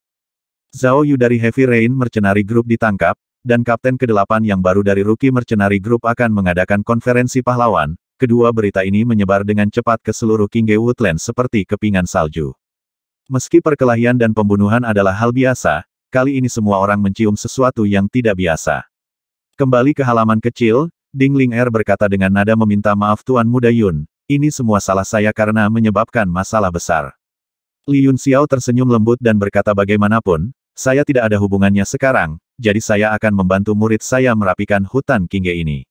Setelah berada di sana begitu lama, dia tidak dapat menyatukan berbagai kekuatan ikan ini. Dia benar-benar lebih rendah. Li Yun Xiao adalah satu-satunya yang berani mengatakan hal seperti itu. Wanita cantik selalu memuja pahlawan. Ding Ling Er memandangnya dengan obsesi yang semakin besar. Hanya mereka berdua yang ada di halaman kecil, dan suasananya sedikit canggung. Li Yun Xiao terbatuk dua kali, mengeluarkan tablet giok transmisi suara, dan menulis sepotong kesadaran spiritual ke dalamnya. Dia mengeluarkan bejana kaca lain, dengan setetes cairan merah cerah tergeletak di dalamnya. Dia menyerahkan kedua barang itu kepada Ding Ling Er dan berkata, minta Zhou Xiang untuk secara pribadi mengirimkan kedua barang ini kepada seorang pria bernama Tuan Yu di kelompok tentara bayaran tengkorak. Ding Ling Er mengambil kedua benda itu dan melihatnya sebentar, meskipun hatinya bingung, karena Li Yun Xiao tidak mengatakan apa-apa, dia tidak perlu bertanya lebih banyak, berbalik dan pergi. Li Yun Xiao sedikit kesurupan dan bergumam pada dirinya sendiri hutan Kingge ini menjadi semakin menarik. Tapi Kaisar Muda, di mana kamu sekarang? Hai Bei Fei pasti tidak tahu, tapi aku masih punya cara sebagai guru. Temukan kamu keluar. Dia hendak memasuki rumah untuk berlatih, ketika tiba-tiba hatinya bergerak, dan dia melihat ke gedung labu harta karun tidak jauh dari situ dengan terkejut, dengan cahaya merah samar bersinar. Ini, Yun Sang. Sosok Li Yun Xiao melintas dan menuju lampu merah. Di ruang rahasia di gedung bawah hulu, Luo Yun Sang duduk bersila, berlatih dengan sangat tenang, tidak menyadari apa pun di luar. Lapisan cahaya merah memancar dari luar tubuhnya, dan aura merah muncul dari tanah, beredar ke seluruh tubuhnya dengan nafas lembutnya, dan setiap kali membuat cahaya yang dipancarkan menjadi lebih intens. Li Yun Xiao dengan lembut membuka kunci pintu dan masuk, tapi Luo Yun Sang sama sekali tidak menyadarinya. Mungkinkah tubuh sembilan yang Yun Sang telah diaktifkan? Li Yun Xiao tampak berpikir dan melihatnya untuk waktu yang lama. Luo Yunsang sepertinya telah memasuki keadaan yang aneh. Tubuh sembilan yang ilahi miliknya dikombinasikan dengan sembilan yang ki dari Istana Sen Xiao adalah metode kultivasi terbaik di dunia. Bahkan Li Yun Xiao tidak berani berspekulasi dan menilai tanpa izin. Tapi satu hal yang pasti, keadaan ini bermanfaat bagi Luo Yunsang. Itu adalah energi Zeng Yang yang sangat kuat. Saya khawatir bukan hanya urat tanah naga api di bawahnya. Naga iblis, yang sudah lama tidak berbicara, tiba-tiba berbicara, dan sepertinya ada sedikit emosi dalam nadanya. Li Yun Xiao mengerang maksudmu. Naga iblis membuka mulutnya dan berkata yang disebut pembuluh darah naga hanyalah kumpulan ki di antara dunia. Yang ki yang berat memunculkan naga api. Namun dalam analisis terakhir, itu masih sebuah tempat dari pengumpulan ki. Ki ini telah terakumulasi dan terakumulasi dalam jangka waktu yang lama. Evolusi akan menghasilkan segala macam perubahan yang aneh. Ada kemungkinan bahwa ia dapat terus menyublim dan berevolusi, membentuk naga yang unik itu. Ki. Hati Li Yun Xiao bergetar dan dia berkata dengan tidak percaya maksudmu, energi naga dibiarkan di pembuluh darah bumi ini. Dia segera memikirkan Luo King Yun, yang memiliki darah naga sejati. Jika dia dapat menyerap sedikit energi naga murni, dia takut bahwa garis keturunan itu sendiri dapat dimurnikan secara langsung dan dikembangkan ke titik yang menakutkan. Naga iblis tersenyum pahit dan berkata saya juga tidak yakin. Bagaimanapun, energi naga adalah satu-satunya dan dapat melahirkan keberadaan naga sejati kuno. Tetapi memang benar bahwa energi Zeng Yang di sini sangat kuat-kuat. Dalam tubuh Dewa Xiao Nizi, ia memiliki aura yang menakutkan, dan jika dapat dikembangkan sepenuhnya, mungkin sebanding dengan keberadaan Kaisar Wu. Li Yun Xiao diam-diam mengagumi intuisi Yaolong orang-orang di Istana Sen Xiao yang memiliki sembilan Yangki di generasi sebelumnya semuanya adalah orang-orang kuat dan tak tertandingi yang mendominasi benua. Jika memang ada energi naga, bisakah kamu merasakannya? Naga Iblis berpikir sejenak dan berkata seharusnya mungkin jika kita dekat, tapi bagaimanapun juga, saya hanyalah tubuh jiwa, dan saya hanya memiliki esensi naga. Saya tidak dapat menyerap energi naga. Bahkan jika Anda menemukan yang sebenarnya energi naga, bagaimana kamu bisa menyerapnya? Kinaga sejati adalah eksistensi yang paling mendominasi di dunia, dan tidak dapat dikumpulkan kecuali ia adalah pembangkit tenaga listrik yang tak tertandingi. 360.